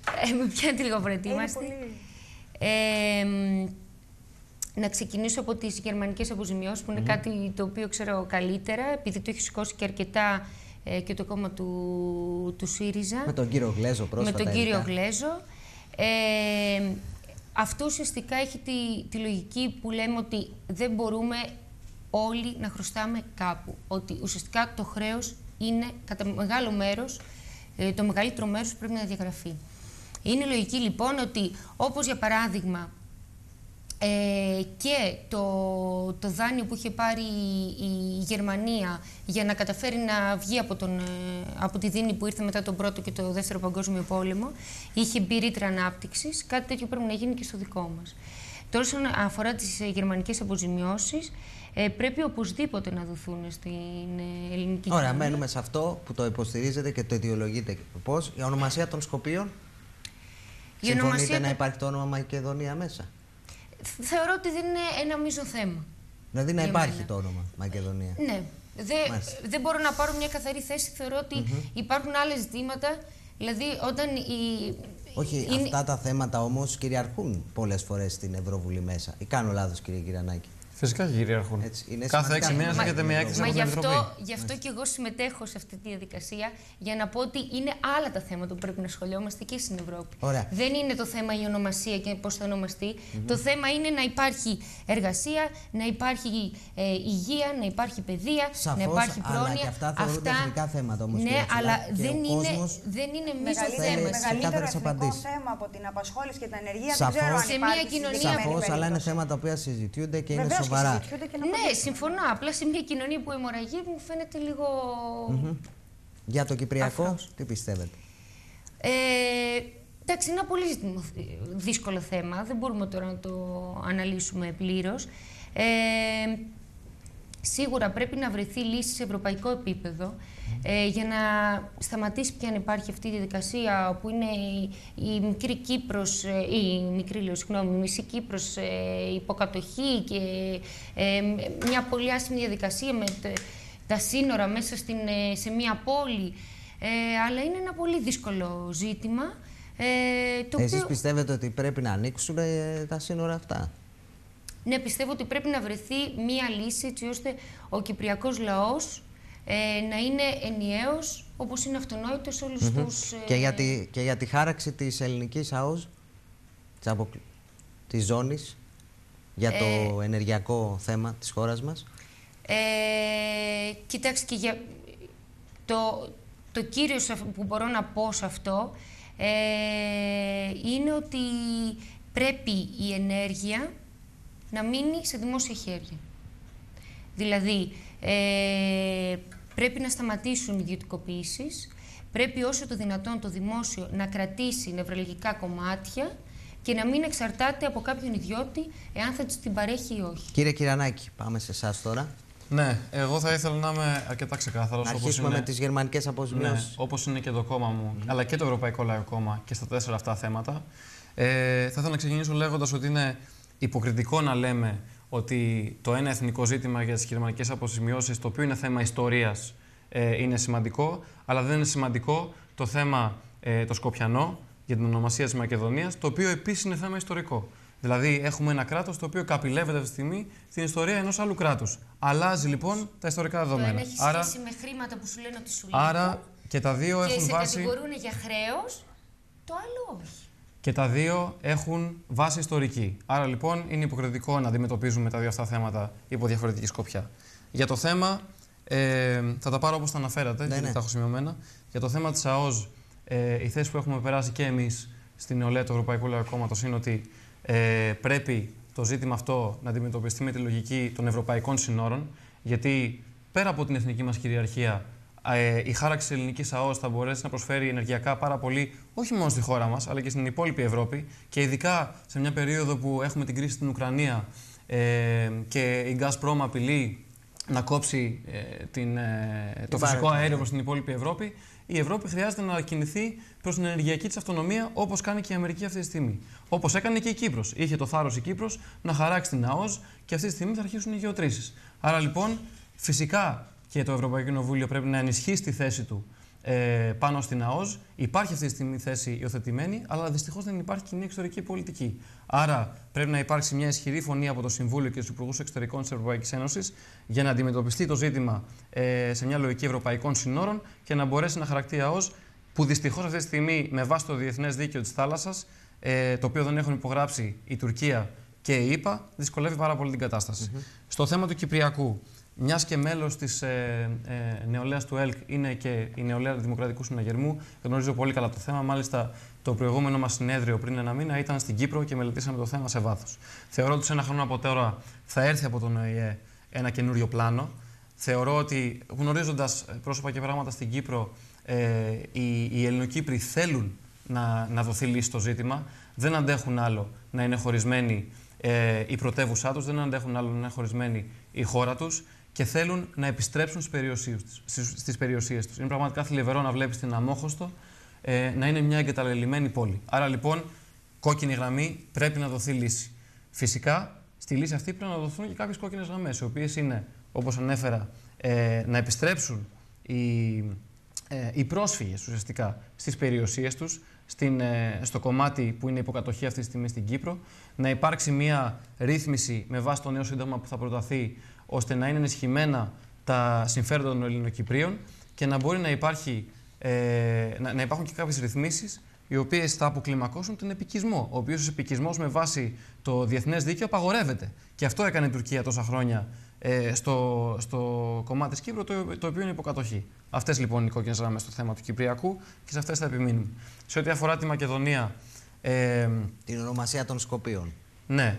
Σε, ό, σε ό,τι αφορά το μακεδονικό ζήτημα και την ονομασία των Σκοπίων, εγώ προτιμώ να, να θέτω το ζήτημα ε, ε, ως Μακεδονία, γιατί είμαι τη λογική ότι πρέπει να αρχίσουμε σαν ε, Ευρωπαίοι εκπρόσωποι της χώρας να χρησιμοποιούμε τον όρο Μακεδονία για, τη δική μας, για την ελληνική Μακεδονία για, κάποια, για κάποιο διάστημα στο εξωτερικό. Αυτή τη στιγμή ο κόσμος στην Ευρώπη αλλά και στον υπόλοιπο κόσμο δεν γνωρίζει ότι υπάρχει ε, ε, η, η Βόρεια Ελλάδα ονομάζεται Μακεδονία. Δεν το γνωρίζει, γιατί εμείς ε, φοβόμαστε να αναφέρουμε τον όρο θεωρώντας ότι ο συνειρμός ε, θα πάει στη γειτονική χώρα. Άρα λοιπόν αυτή τη στιγμή η μόνη περιφέρεια αναγνωρισμένη από την Ευρωπαϊκή Ένωση ε, ως Μακεδονία είναι κομμάτι ελληνικής γης. Αυτή τη στιγμή υπάρχει μια κυβέρνηση στη γειτονική χώρα η οποία έχει καπηλευτεί την, ε, την ιστορία τη δική μας. Έχει δώσει 10 εκατομμύρια ευρώ για να χτίσει ένα άγαλμα του Μεγάλου Αλεξάνδρου, να ονομάσει έναν δρόμο ε, Μέγας Αλέξανδρος, να ονομάσει το αεροδρόμιο ως Μέγας Αλέξανδρος, κάνοντας μια πραγματικά εξωπραγματική προπαγάνδα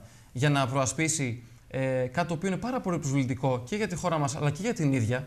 Αποτάσσεται δηλαδή της σλαβικής σου ιστορίας, το οποίο δεν ναι. καταλαβαίνω. Πάμε όμως και στο όνομα της ονομασίας να πάρουμε μια ξεκάθαρη απάντηση. Σύνθετος προ, σύνθετη ονομασία. Με την, με την λέξη Μακεδονία μέσα. Σύνθετη ονομασία με γεωγραφικό προσδιορισμό. Αυτή είναι η θέση μας. Είμαστε ξεκάθαροι. Όταν λέτε σύνθετη καμία... ονομασία ναι. με τη λέξη, να έχει λέξη. Ναι. Να το καταλάβουν οι τηλεθεατές. Γι' αυτό το λέω. Εγώ το καταλαβαίνω πώς το λέτε. Ναι, ναι, το λέω, το λέω ξεκάθαρα. Ωραία. Πάμε ε, και στις γερμανικές αποζημιώσεις. Ωστόσο, ναι. πρέπει στο θέμα το μακεδονικό να έχουμε μια κοινή στάση ευρωβουλευτές της Ελλάδας και να χτίσουμε και τις κατάλληλες συμμαχίες που χρειάζεται μαζί. Δεν μπορεί στην επόμενη έκθεση που θα έρθει από την Κομισιόν για την, ε, ε, για την ονομασία των Σκοπίων οι μισοί Έλληνες ευρωβουλευτές να πούν Εγώ ψηφίζω αποχή. Στο θέμα αυτό. Και Αυτή τη στιγμή υπάρχει. Και κάποιοι να μην είναι καν μέσα. Πολύ σωστά. Κάποιοι να κοιμούνται ενδεχομένως. Θα πρέπει όλοι οι Έλληνες ευρωβουλευτές να, να τηρήσουν μια κοινή στάση ώστε να μπορέσουμε να πετύχουμε τη διαπραγμάτευση που θέλουμε. Ωραία, πάμε στι γερμανικές αποζημιώσεις. Αυτή τη στιγμή είναι πολύ θετικό που έχει ανοίξει ένας διάβλος επικοινωνία μεταξύ της γερμανικής κυβέρνησης και της ελληνικής κυβέρνησης για το ζήτημα αυτό. Θεωρώ ότι το ζήτημα είναι διπλωματικό, ε, φτάνει σε πολύ ψηλά επίπεδα ε, διπλωματίας και φυσικά, εφόσον νομικά επιτρέπεται, θα ήθελα να επιτρέψει στη χώρα μου ένα κομμάτι των γερμανικών αποζημιώσεων το οποίο δικαιούται ο ελληνικός λαός. Φυσικά. Και αυτή τη στιγμή θεωρώ ότι υπάρχει και μια πολύ καλή πρωτοβουλία, ε, ένα κείμενο το, το οποίο υπογράφουν αρκετοί υποψήφοι για τις γερμανικές αποζημιώσεις και είναι ένα θέμα το οποίο φυσικά και πρέπει να διεκδικήσουμε στο Ευρωκοινοβούλιο. Αλλά πρέπει να, να πηγαίνουμε μια πολιτική συνένεσης και σοβαρής διαπραγμάτευσης και να μην πηγαίνουμε με κορώνες ε, και, και μια συμπεριφορά η οποία περισσότερο απομονώνει τη χώρα μας παρά χτίζει ε, τις συμμαχίες που χρειάζονται. Κυρία Γιάννα, έρχομαι σε εσάς. Λοιπόν, να αρχίσουμε ε, με την ΑΟΣ, τι θέλετε; Λοιπόν, μάλλον θα αρχίσω λίγο διαφορετικά. Τα θέματα τα θυμάστε ναι, πάντως. Ναι. Ε, τα βλέπω και από εδώ είναι Λοιπόν, ε, εγώ επειδή ανήκω, μάλλον είναι προσωπική μου άποψη και είναι και άποψη των, ε, των γεφυρών του συνδυασμού που αποτελείται από το, τη δημιουργία ξανά και τη δράση. Ε, για μας υπάρχουν κατά κύριο λόγο ευρωπαϊκά θέματα. Γιατί είμαστε ξεκάθαρα υπέρ της ομοσπονδιοποίησης της Ευρώπης θεωρούμε ότι τα εθνικά μας συμφέροντα είναι τα ευρωπαϊκά συμφέροντα. Και η λογική του κάνω διμερείς σχέσεις, διμερείς συμφωνίες, εγώ σαν Ελλάδα, εγώ σαν Γερμανία, με τη Ρωσία, δεν ξέρω κι εγώ με ποια άλλη χώρα, πρέπει να σταματήσει. Γιατί αλλιώς δεν θα μπορέσουμε ποτέ να πάμε παρακάτω σαν Ευρωπαϊκή Ένωση. Άρα το θεωρώ λίγο άτοπο να μου επιτραπεί η, ε, η, η λέξη να συζητάμε, όταν συζητάμε για ευρωεκλογές και όταν συζητάμε για περισσότερη Ευρώπη, να αναφερόμαστε σε εθνικά θέματα πρέπει να αναφερόμαστε σε ευρωπαϊκά θέματα. Γιατί πλέον ε, ο κόσμος έχει αλλάξει. Υπάρχουν άλλοι παίκτες παγκόσμιοι. Η Ευρώπη πρέπει να πάει παρακάτω. Γιατί δεν είναι μόνο η οικονομία η οποία μας συνδέει, είναι και η κοινή μας κουλτούρα. Και νομίζω εδώ πέρα οι συνάδελφοί μου το καταλαβαίνουν καλύτερα από κάποιους άλλους, γιατί έχουν ταξιδέψει στην Ευρώπη, είναι νέοι, ενδεχομένως κάποιοι έχουν σπουδάσει και έχουν μείνει έξω. Οπότε καταλαβαίνουν ότι δεν είναι πολλά αυτά που μας χωρίζουν, ίσα ίσα είναι περισσότερα αυτά που μας ενώνουν. Από εκεί και πέρα, ε, το θέμα, ε, το θέμα της ΑΟΣ, συμφωνώ, συμφωνώ με τον κύριο Κυρανάκη, ε, πρέπει να λυθεί σε πρέπει να είναι μέσα η Ευρώπη οπωσδήποτε ε, αναμειγμένη. Πάντως, αν μου επιτρέπετε μια παρένθεση. Βεβαίως. Ε, τα, τα τρία από αυτά τα θέματα ε, που, τα οποία συζητάμε έχουν να κάνουν με χώρες οι οποίες δεν είναι στην Ευρωπαϊκή Ένωση. Ναι, Άρα, λοιπόν... αλλά ε, το, το FIROM έχει προοπτική του να μπει μέσα στην Ευρωπαϊκή Ένωση. Έχει, αλλά αυτή τη στιγμή δεν είναι στην Ευρωπαϊκή Ένωση. Ναι, και όσο αλλά... δεν λύνει το ζήτημα της ονομασίας, δεν πρέπει και να ναι, μπει. Ναι, γιατί βάζει βέτο η Ελλάδα. Οι άλλες χώρες δεν νομίζω ότι έχουν ίδια άποψη. Ναι, Τουλάχιστον εγώ αυτό κατάλαβα όταν δούλευα στο Κοινοβούλιο. Έχουμε ομοφωνία αυτή τη στιγμή στο Συμβούλιο, άρα λοιπόν καλά κάνουμε και βάζουμε βέτο. Ναι, μόνο που εγώ αυτό που σας λέω είναι ότι η ομοφωνία στο Συμβούλιο και να μην χρησιμοποιείται η κοινοτική μέθοδος βάζει εμπόδια στην ομοσπονδιοποίηση της Ευρωπαϊκής Ένωσης. Δεν μας πάει παραπέρα. Δεν μπορεί κάθε φορά μια χώρα να βάζει βέτο ε, για κάποια θέματα και να μπλοκάρει όλη τη διαδικασία της Ευρωπαϊκής Ένωσης. Τώρα, ε, να τα πάρουμε ένα-ένα. Ε, για την ΑΟ συμφωνώ με τον κύριο Κινανάκη. Το απαντήσατε αυτό. Ωραία. Για το, για το Κυπριακό θεωρώ ότι πρέπει να λυθεί σύμφωνα να, να ληφθεί υπόψη η γνώμη των Κυπρίων και φυσικά και της, ε, της Ευρωπαϊκής Ένωσης και να γίνει εκεί μια καλή διαπραγμάτευση. Να ξέρουμε ότι οι συμβιβασμοί ενδεχομένως θα γίνουν και από τις δύο πλευρές ε, και να βρεθεί η πιο βιώσιμη και καλύτερη δυνατή λύση ε, και για, για το μέλλον και των δύο λαών, για να, έχει πλέον, για να μην είναι πια διχοτομημένο το νησί και τα, η χώρα κτλ. Ε, για τις γερμανικές αποζημιώσεις έχω να πω ότι μου κάνει φοβερή εντύπωση που στην Ελλάδα, και το έχει σηκώσει αυτό το θέμα και ο ΣΥΡΙΖΑ πολύ έντονα και λίγο με απογοητεύει, θυμήθηκαν να το σηκώσουν όταν μπήκαν στο μνημόνιο. Δηλαδή εγώ δεν ξέρω, ίσως ήμουν και πάρα πολύ μικρή και δεν έβλεπα τόσο πολύ τηλεόραση. Μπορεί να κάνω και λάθος. Δεν θυμάμαι παλαιότερα να μιλάγαμε τόσο έντονα για τις γερμανικές αποζημιώσεις. Αυτό μου κάνει λίγο περίεργο. Δεν το κάνει μόνο ο ΣΥΡΙΖΑ, επαναλαμβάνω, το κάνουν και άλλα κόμματα. Απλά από το ΣΥΡΙΖΑ θα περίμενα κάτι άλλο. Ε, Μιας και πλέον είναι και αξιωματική αντιπολίτευση. Ε, ποιο άλλο θέμα μας έμεινε; Νομίζω ονομασία των Σκοπιών. Ονομασία των Σκοπιών. Ναι. Λοιπόν, ε, τι να σας πω τώρα, το, ο γεωγραφικός σύνθετη ονομασία με γεωγραφικό προσδιορισμό και εμένα με βρίσκει σύμφωνο. Σύνθετη ονομασία και εσείς με γεωγραφικό προ... Λοιπόν, πάμε στον κύριο Κόνστα, στο στούντιο 2 από το ΕΠΑΜ. Κύριε Κόνστα, ναι. τα θέματα τα θυμάστε. Βεβαίως, να αρχίσουμε βεβαίως. από τις γερμανικές αποζημιώσεις. Όπως θέλετε. Σας ακούμε. Το θέμα, το γερμανικές αποζημιώσεις πρώτα απ' όλα πρέπει να κρυβολογούμε. Ε, δεν είναι κάτι το γενικευμένο, είναι δύο διαφορετικά πράγματα.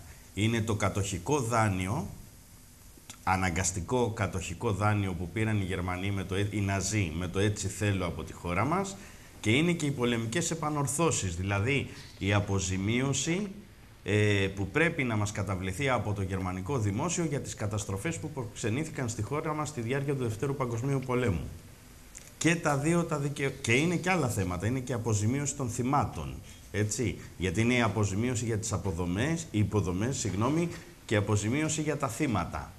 Εννοείται ότι αυτά τα θέματα πρέπει να τα σηκώσουμε μέσα στο Ευρωκοινοβούλιο, πρωτίστως τώρα που έχουμε ανάγκη και τώρα που όλη η Ευρώπη σιγά σιγά αρχίζει να αντιλαμβάνεται ότι μια γερμανική Ευρώπη είναι στη λάθος κατεύθυνση και ότι χρειάζεται Ευρώπη και όχι γερμανική Ευρώπη. Αυτό λοιπόν είναι χρυσή ευκαιρία να το κάνουμε. Να πάμε στην ονομασία; Να πάμε. Ε, πριν πάμε στην ονομασία θα σας πω το εξής. Όλα αυτά τα θέματα δυστυχώς συνιστούν απόδειξη του ότι η Ευρωπαϊκή Ένωση προδίδει κατ' επανάληψη τα εθνικά μας συμφέροντα για το χρήμα. Ότι δεν την ενδιαφέρει τίποτα άλλο από το χρήμα, δεν νοιάζεται για τον άνθρωπο, δεν νοιάζεται για τον Έλληνα. Παράδειγμα, η ΑΟΣ. Η ΑΟΣ είναι κάτι που έπρεπε ήδη να είχε γίνει με ευρωπαϊκή υποστήριξη και παρά τις αντιδράσεις της Τουρκίας. Όχι μόνο δεν έχει γίνει αυτό, όχι μόνο δεν μας έχουν δώσει την παραμικρή βοήθεια σε αυτό το θέμα, αλλά αντιθέτως λένε, μάλλον κάνουν το κορόιδο και κάθονται και συζητάνε για ένταξη της Τουρκίας στην Ευρωπαϊκή Ένωση όταν η Τουρκία κατέχει το 37% της Κύπρου παρανόμως, παρανόμως, το τονίζω αυτό γιατί το ξεχνάμε και μετά θα πάμε στο θέμα της Κύπρου και όταν το τουρκικό κοινοβούλιο έχει πάρει απόφαση πως εάν επεκτείνουμε εμείς τα χωρικά μας ύδατα εκεί που έχουμε το δικαίωμα με το διεθνές δίκαιο να το κάνουμε αυτό, αυτό είναι καζουσμπέλι. Και η Ευρωπαϊκή Ένωση συζητάει με έναν διεθνή εγκληματία, γιατί η Τουρκία είναι διεθνής εγκληματίας. Δεν μας στηρίζει. Αυτό όταν θα πάμε να ψηφίσουμε για την Ευρωβουλή μεθαύριο, πρέπει να το θυμόμαστε. Πρέπει να το θυμόμαστε, έχει σημασία. Γιατί όλες οι απόψεις που ακούστηκαν, επιτρέψτε μου, εμένα μου θυμίζουν εικονική πραγματικότητα. Εικονική πραγματικότητα. Η Ευρώπη δυστυχώς, αντί να μας στηρίζει, μας πολεμάει. Όταν λοιπόν μας πολεμάει, πρέπει και εμείς να την αντιμετωπίσουμε αναλόγως. Πάμε λοιπόν για το θέμα της Άουζη, είμαι ξεκάθαρος. Έπρεπε ήδη να έχει γίνει ναι, ναι, και έπρεπε να έχει επιβληθεί στην Τουρκία. Ναι. Πάμε στο θέμα ε, για τις αποζημιώσει. Είπαμε, πάμε στο θέμα της Κύπρου. Η κατοχή της Κύπρου από την Τουρκία είναι παράνομη. Με την ένταξη της Κύπρου στην Ευρωπαϊκή Ένωση, κανονικά θα έπρεπε να είχαν επιβληθεί στην Τουρκία από μεριάς τουλάχιστον της Ευρωπαϊκής Ένωσης τέτοιες κυρώσεις ώστε να έχει αναγκαστεί η Τουρκία να υποχωρήσει. Ανταυτού γίνονται συνομιλίες για ένταξη. Αυτό είναι το ένα. Δεύτερον, έχουν το πρώτο. παγώσει οι συνομιλίες για ένταξη, κύριε Κώστα. Ορίστε. Έχουν παγώσει οι συνομιλίες για ένταξη. Ναι, έχουν παγώσει, αλλά συνεχίζονται επί χρόνια. Όχι, δεν συνεχίζονται. Δεν, δεν διακόπτονται. Προσέξτε, έχει σημασία. Το παγώνω από το διακόπτω. Εδώ και 50 χρόνια έχει κάνει αίτηση Μα τι να συζητήσεις; Συγγνώμη, συζητάς με το βιαστή σου, δηλαδή για το πόσο θα σε Μα βιάσει. δεν συζητάει αυτό. 37% ή 60% ή 20% ή 10%. Το, μα είμαστε σοβαροί τώρα. Μα έχουν παγώσει, σας λέω, δεν συζητάει. Καλά, εντάξει. Εγώ θα ήθελα όταν τελειώσετε, κύριε Κόνστα, ε, να σας κάνω μια ερώτηση για την Ουκρανία. Να τοποθετηθείτε, ναι, να τελειώσει ο κύριος Κόνστας. Λοιπόν, άρα και στο θέμα της Κύπρου, επί της ουσίας η Ευρωπαϊκή Ένωση έχει προδώσει τον Κυπριακό λαό. Η Ευρωπαϊκή Ένωση υποστήριξε το σχέδιο ΑΝΑΝ, το οποίο ο Ευρωπαϊκός λαός το απέρριψε με 70%. Η νέα λύση που προωθείται επίσης είναι αντίθετη με τα συμφέροντα του Κυπριακού λαού, διότι εάν όλοι οι συνομιλητές δέχονται, που νομίζω ότι το δέχονται και το δεχόμουν και εγώ παλιότερα, ότι η Ευρωπαϊκή Ένωση ήταν, είναι μια ένωση των υποτίθεται πιο προηγμένων δημοκρατιών στον κόσμο, όπως ήταν κάποτε, η, τουρκική, η τουρκοκυπριακή, αν θέλετε, μειονότητα της Κύπρου δεν θα χρειαζόταν καμία άλλη εγγύηση.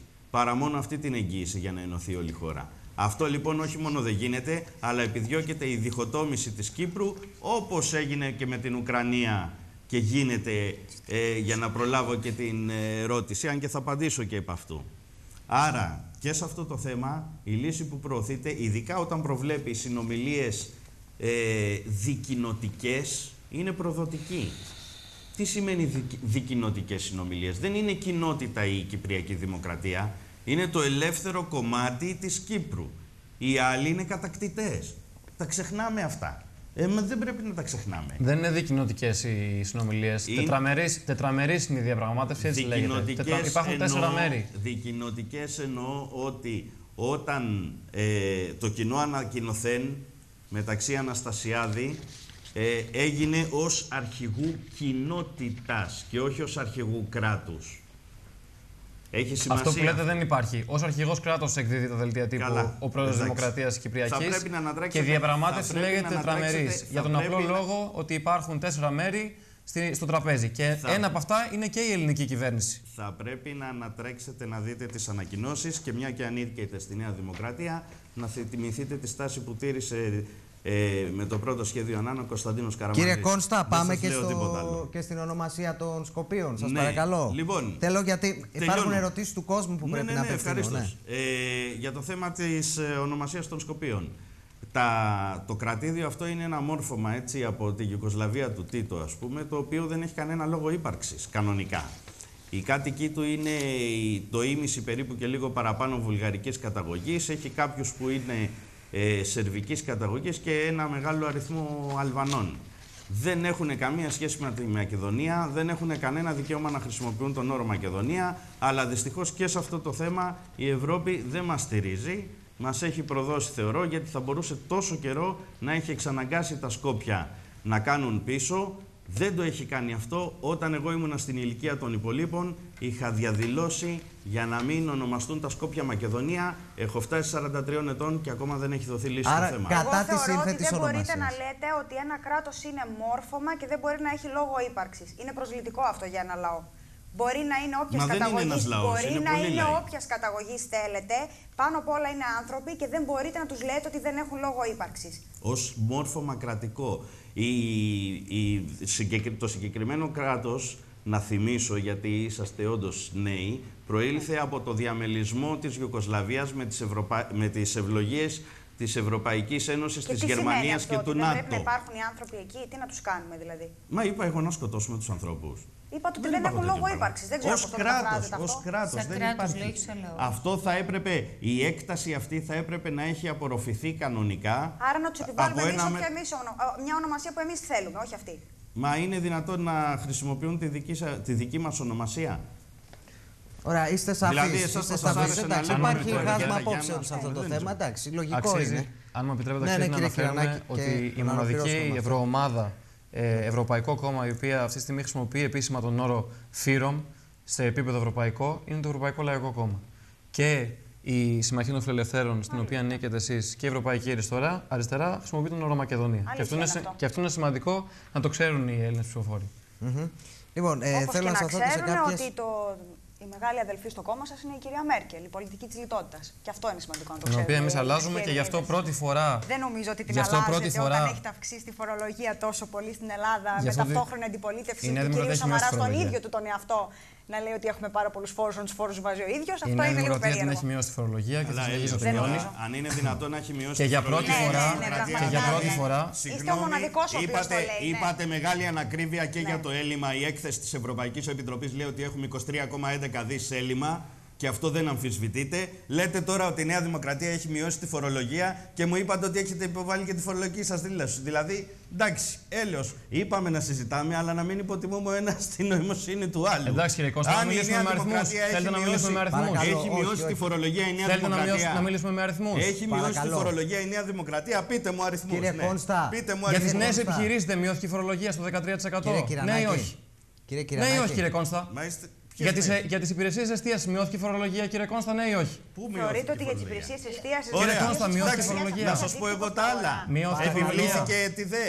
Επιβλήθηκε Μειώθηκαν οι η ΤΑΣ. τιμές. Φορολογία στα Επι- κίνητα, δεν Επιβλήθηκε η θεωρείτε ότι ειδική είναι εισφορά φορολογία. Όταν αλληλεγγύη. αυξάνεται ο Φορολογούμαστε με φόρος, συγγνώμη, 26%. Σε όλο το, σε κάθε νοικοκυριό και σε κάθε εργαζόμενο αυξάνει τη φορολογία, δεν μπορούμε να μιλάμε ότι για μείωση φορολογίας. εστίαση, Όπως αν είναι και δεν δυνατόν. μπορούμε να μιλάμε για πλεόνασμα που είπες πριν. Δηλαδή το πρωτογενές πλεόνασμα. Στα νοικοκυριά πώς αυξήθηκε η φορολογία; Το, Στα το, κίνητα. ακούμε. Πού, πείτε μου. Στα κίνητα. Πού, πείτε Το μου. χαράτσι. Φορολογούμε αυτή τη στιγμή Το χαράτσι και μη- αυξήθηκε επί Μισό Νέας λεπτό, μισό Δημοκρατίας. λεπτό. Δεν λέμε αυτό. Λέμε Το αυτό. χαράτσι Ο ένας ακούγεται πάνω στον δημιουργήθηκε. άλλον και υπάρχει Αυξήθηκε επί μπέρδεμα. Νέας Δημοκρατίας δημιουργήθηκε. Το, χαρά, το χαράτσι Επί ποιου υπάρχει. δημιουργήθηκε; Το χαράτσι υπάρχει. Αυξήθηκε επί Νέας Δέκα λεπτά Δημοκρατίας. μείνανε. Το χαράτσι υπάρχει, διονύζεται. Δεν σημαίνει. Αυξήθηκε, αυξήθηκαν οι φόροι επί Νέας Κυρία Δημοκρατίας. Να πω κάτι. Εγώ είπα για χαράτσι. Ένα Να πω λεπτό κάτι παρακαλώ. συγκεκριμένο. Δεν Ε, είναι όταν μιλάει ο μόνο ένας το πάνω χα- στον άλλον, δεν ακούνε τίποτα οι Δεν τηλεθεατές. είναι μόνο Ναι, το κύριε χαράτσι, είναι και ο φόρος ακίνητης περιουσίας. Μάλιστα. Και είναι παράλογο να φορολογείς ένα ακίνητο όταν το ακίνητο αυτό δεν παράγει υπεραξία. Αν εγώ Ωραία. νοικιάζω το Σύμφωνοι, σπίτι γι' αυτό μου πρέπει και να μισό μειωθεί. λεπτό. Δεν Αν είναι εγώ παράνομο νοικιάζω μόνο, το σπίτι είναι μου και βγάζω παράνομο για χρήματα από αντισυνταγματικό. αυτό, τότε πολύ ευχαρίστως να φορολογηθώ αναλόγως. Συμφωνούμε. Αλλά όχι να φορολογώ. Ναι, συμφωνούμε, αλλά το Γι' αυτό κάνετε πρέπει να όμως. μειωθεί.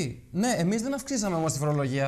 Αυτή τη στιγμή υπάρχουν κάποιες φορολογικές μειώσεις και σιγά σιγά σταδιακά με βήματα πρέπει να μειωθεί κι άλλος. Αυτό συμφωνούμε. Μέχρι να τη μειώσουμε Να το στη Αλλά ότι η Νέα φορολογία, Δημοκρατία πρέπει να κάνει αύξησε παραπάνω τους φόρους. οικονομία. Δεν συζητάμε για το χαράτσι, δεν υπήρξε τέτοια ερώτηση για το χαράτσι. Όχι, δεν συζητάμε για το χαράτσι, μιλάμε ξαφνικά, γενικά για τη φορολογία. προέκυψαν ξαφνικά αυτές οι απόψεις. Λοιπόν, θέλω να πάω σε τελευταίες δηλώσεις του Πρωθυπουργού προχθές στη διακαναλική συνέντευξη που έδωσε σε τηλεοπτικό σταθμό και να ρωτήσει τον καθένα σας ξεχωριστά και να το αιτιολογήσει.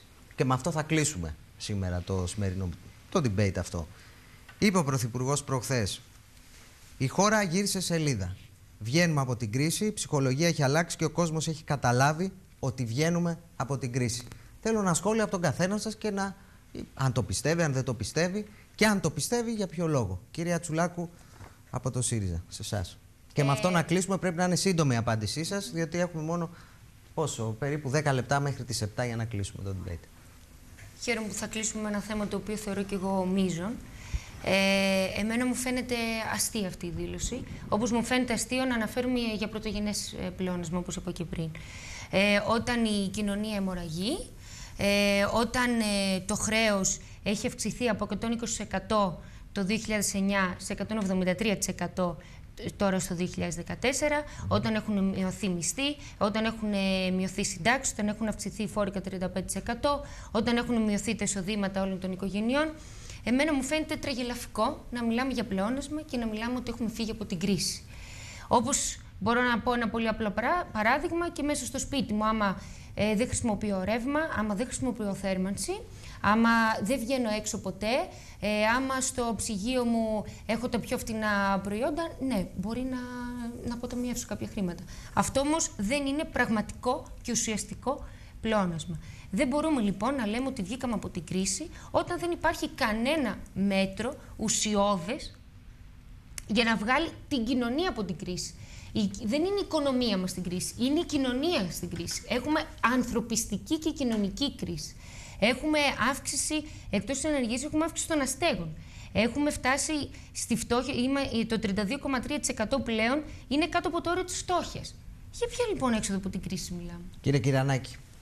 Πολύ σωστά αναφέρθηκε το παράδειγμα του σπιτιού μας, του νοικοκυριού μας, γιατί ο λόγος που φτάσαμε στην κρίση είναι επειδή το σπίτι μας ξόδευε πολύ περισσότερα από αυτά ε, τα οποία εισέπρατε. Άρα λοιπόν γι' αυτό έχουμε κρίση, για τρεις λόγους. Γιατί το χρέος μας ήταν τεράστιο, το έλλειμμα ήταν τεράστιο και το ισοζύγιο τρεχουσών συναλλαγών ήταν πολύ αρνητικό. Στη αυτή φράση στιγμή, του Πρωθυπουργού είπαμε αυτή, να... Θα έρθω, θα έρθω. Ναι. Αυτή τη στιγμή έχουμε πρωτογενές πλεόνασμα, έχουμε ε, θετικό ισοζύγιο τρεχουσών συναλλαγών και η επόμενη μεγάλη διαπραγμάτευση είναι το χρέος. Αυτό λοιπόν δείχνει ότι αυτό που ο Πρωθυπουργός είναι αληθές. Δημοσιονομικά τα χειρότερα έχουν περάσει και αυτό είναι πολύ σημαντικό γιατί μπορεί η χώρα να δανειστεί και να σταθεί στα δικά της πόδια με οικονομικούς όρους. Όμως, κάτι ε, που πρέπει να αναφέρουμε για τους ίδιους πολίτες, στους οποίους αυτή τη στιγμή δεν έχει φτάσει το πρωτογενές πλεόνασμα και είναι πολύ φυσιολογικό να υπάρχει ακόμα απογοήτευση προς το πολιτικό σύστημα και δυσπιστία προς την ανάκαμψη της χώρας οικονομικά.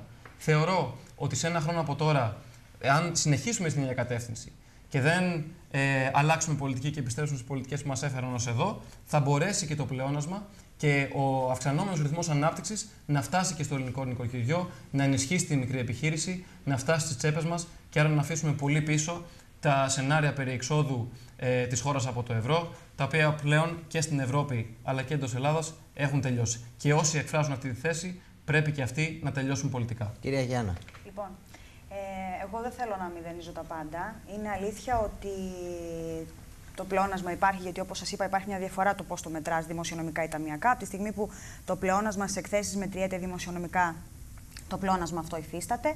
Το θέμα είναι ότι ε, μακροοικονομικά, δηλαδή σε επίπεδο δημοσιονομικό, ε, έχουμε καταφέρει πράγματα. Το θέμα είναι ότι σε, σε, σε επίπεδο μικροοικονομίας, δηλαδή σε συμπεριφορές, ε, σε νοοτροπίες, στον τρόπο που παράγουμε, στον τρόπο ε, με τον οποίο συνδιαλεγόμαστε είτε με το δημόσιο είτε με τον ιδιωτικό τομέα, πολύ φοβάμαι ότι δεν έχουμε αλλάξει πολλά πράγματα.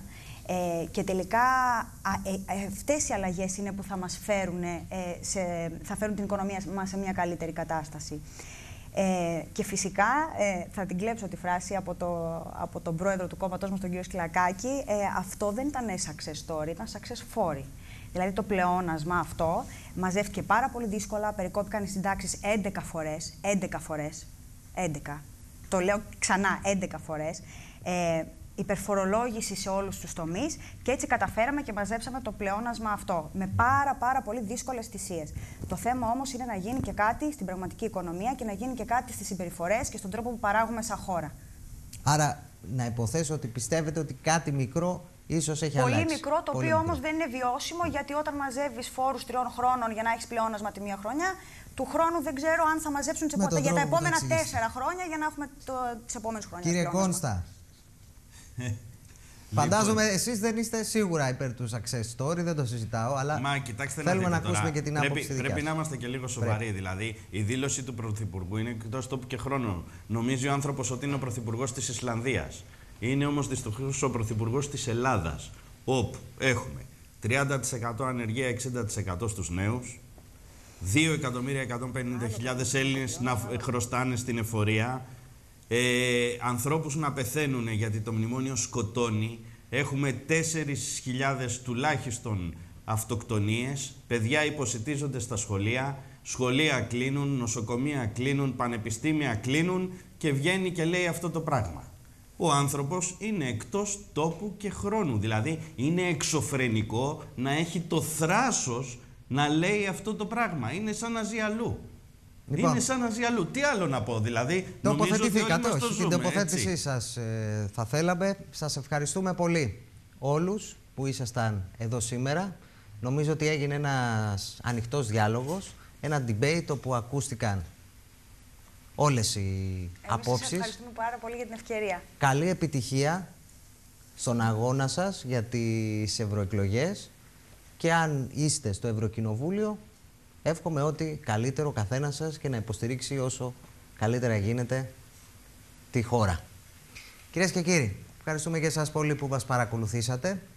Τα debate συνεχίζονται και την Κυριακή αλλά και καθ' όλη τη διάρκεια της εβδομάδας. Να σας υπενθυμίσουμε επίσης για συμμετοχή στα debate και τις πολιτικές εκλογές της τηλεόρασης, τις πολιτικές εκπομπές της τηλεόρασης της Ζούγκλας μπορείτε να τηλεφωνείτε στο 211 55 50 500 είναι αστική χρέωση και να στέλνετε και email στο info.zoogla.gr Καλή συνέχεια σε όλους. Καλό σας απόγευμα.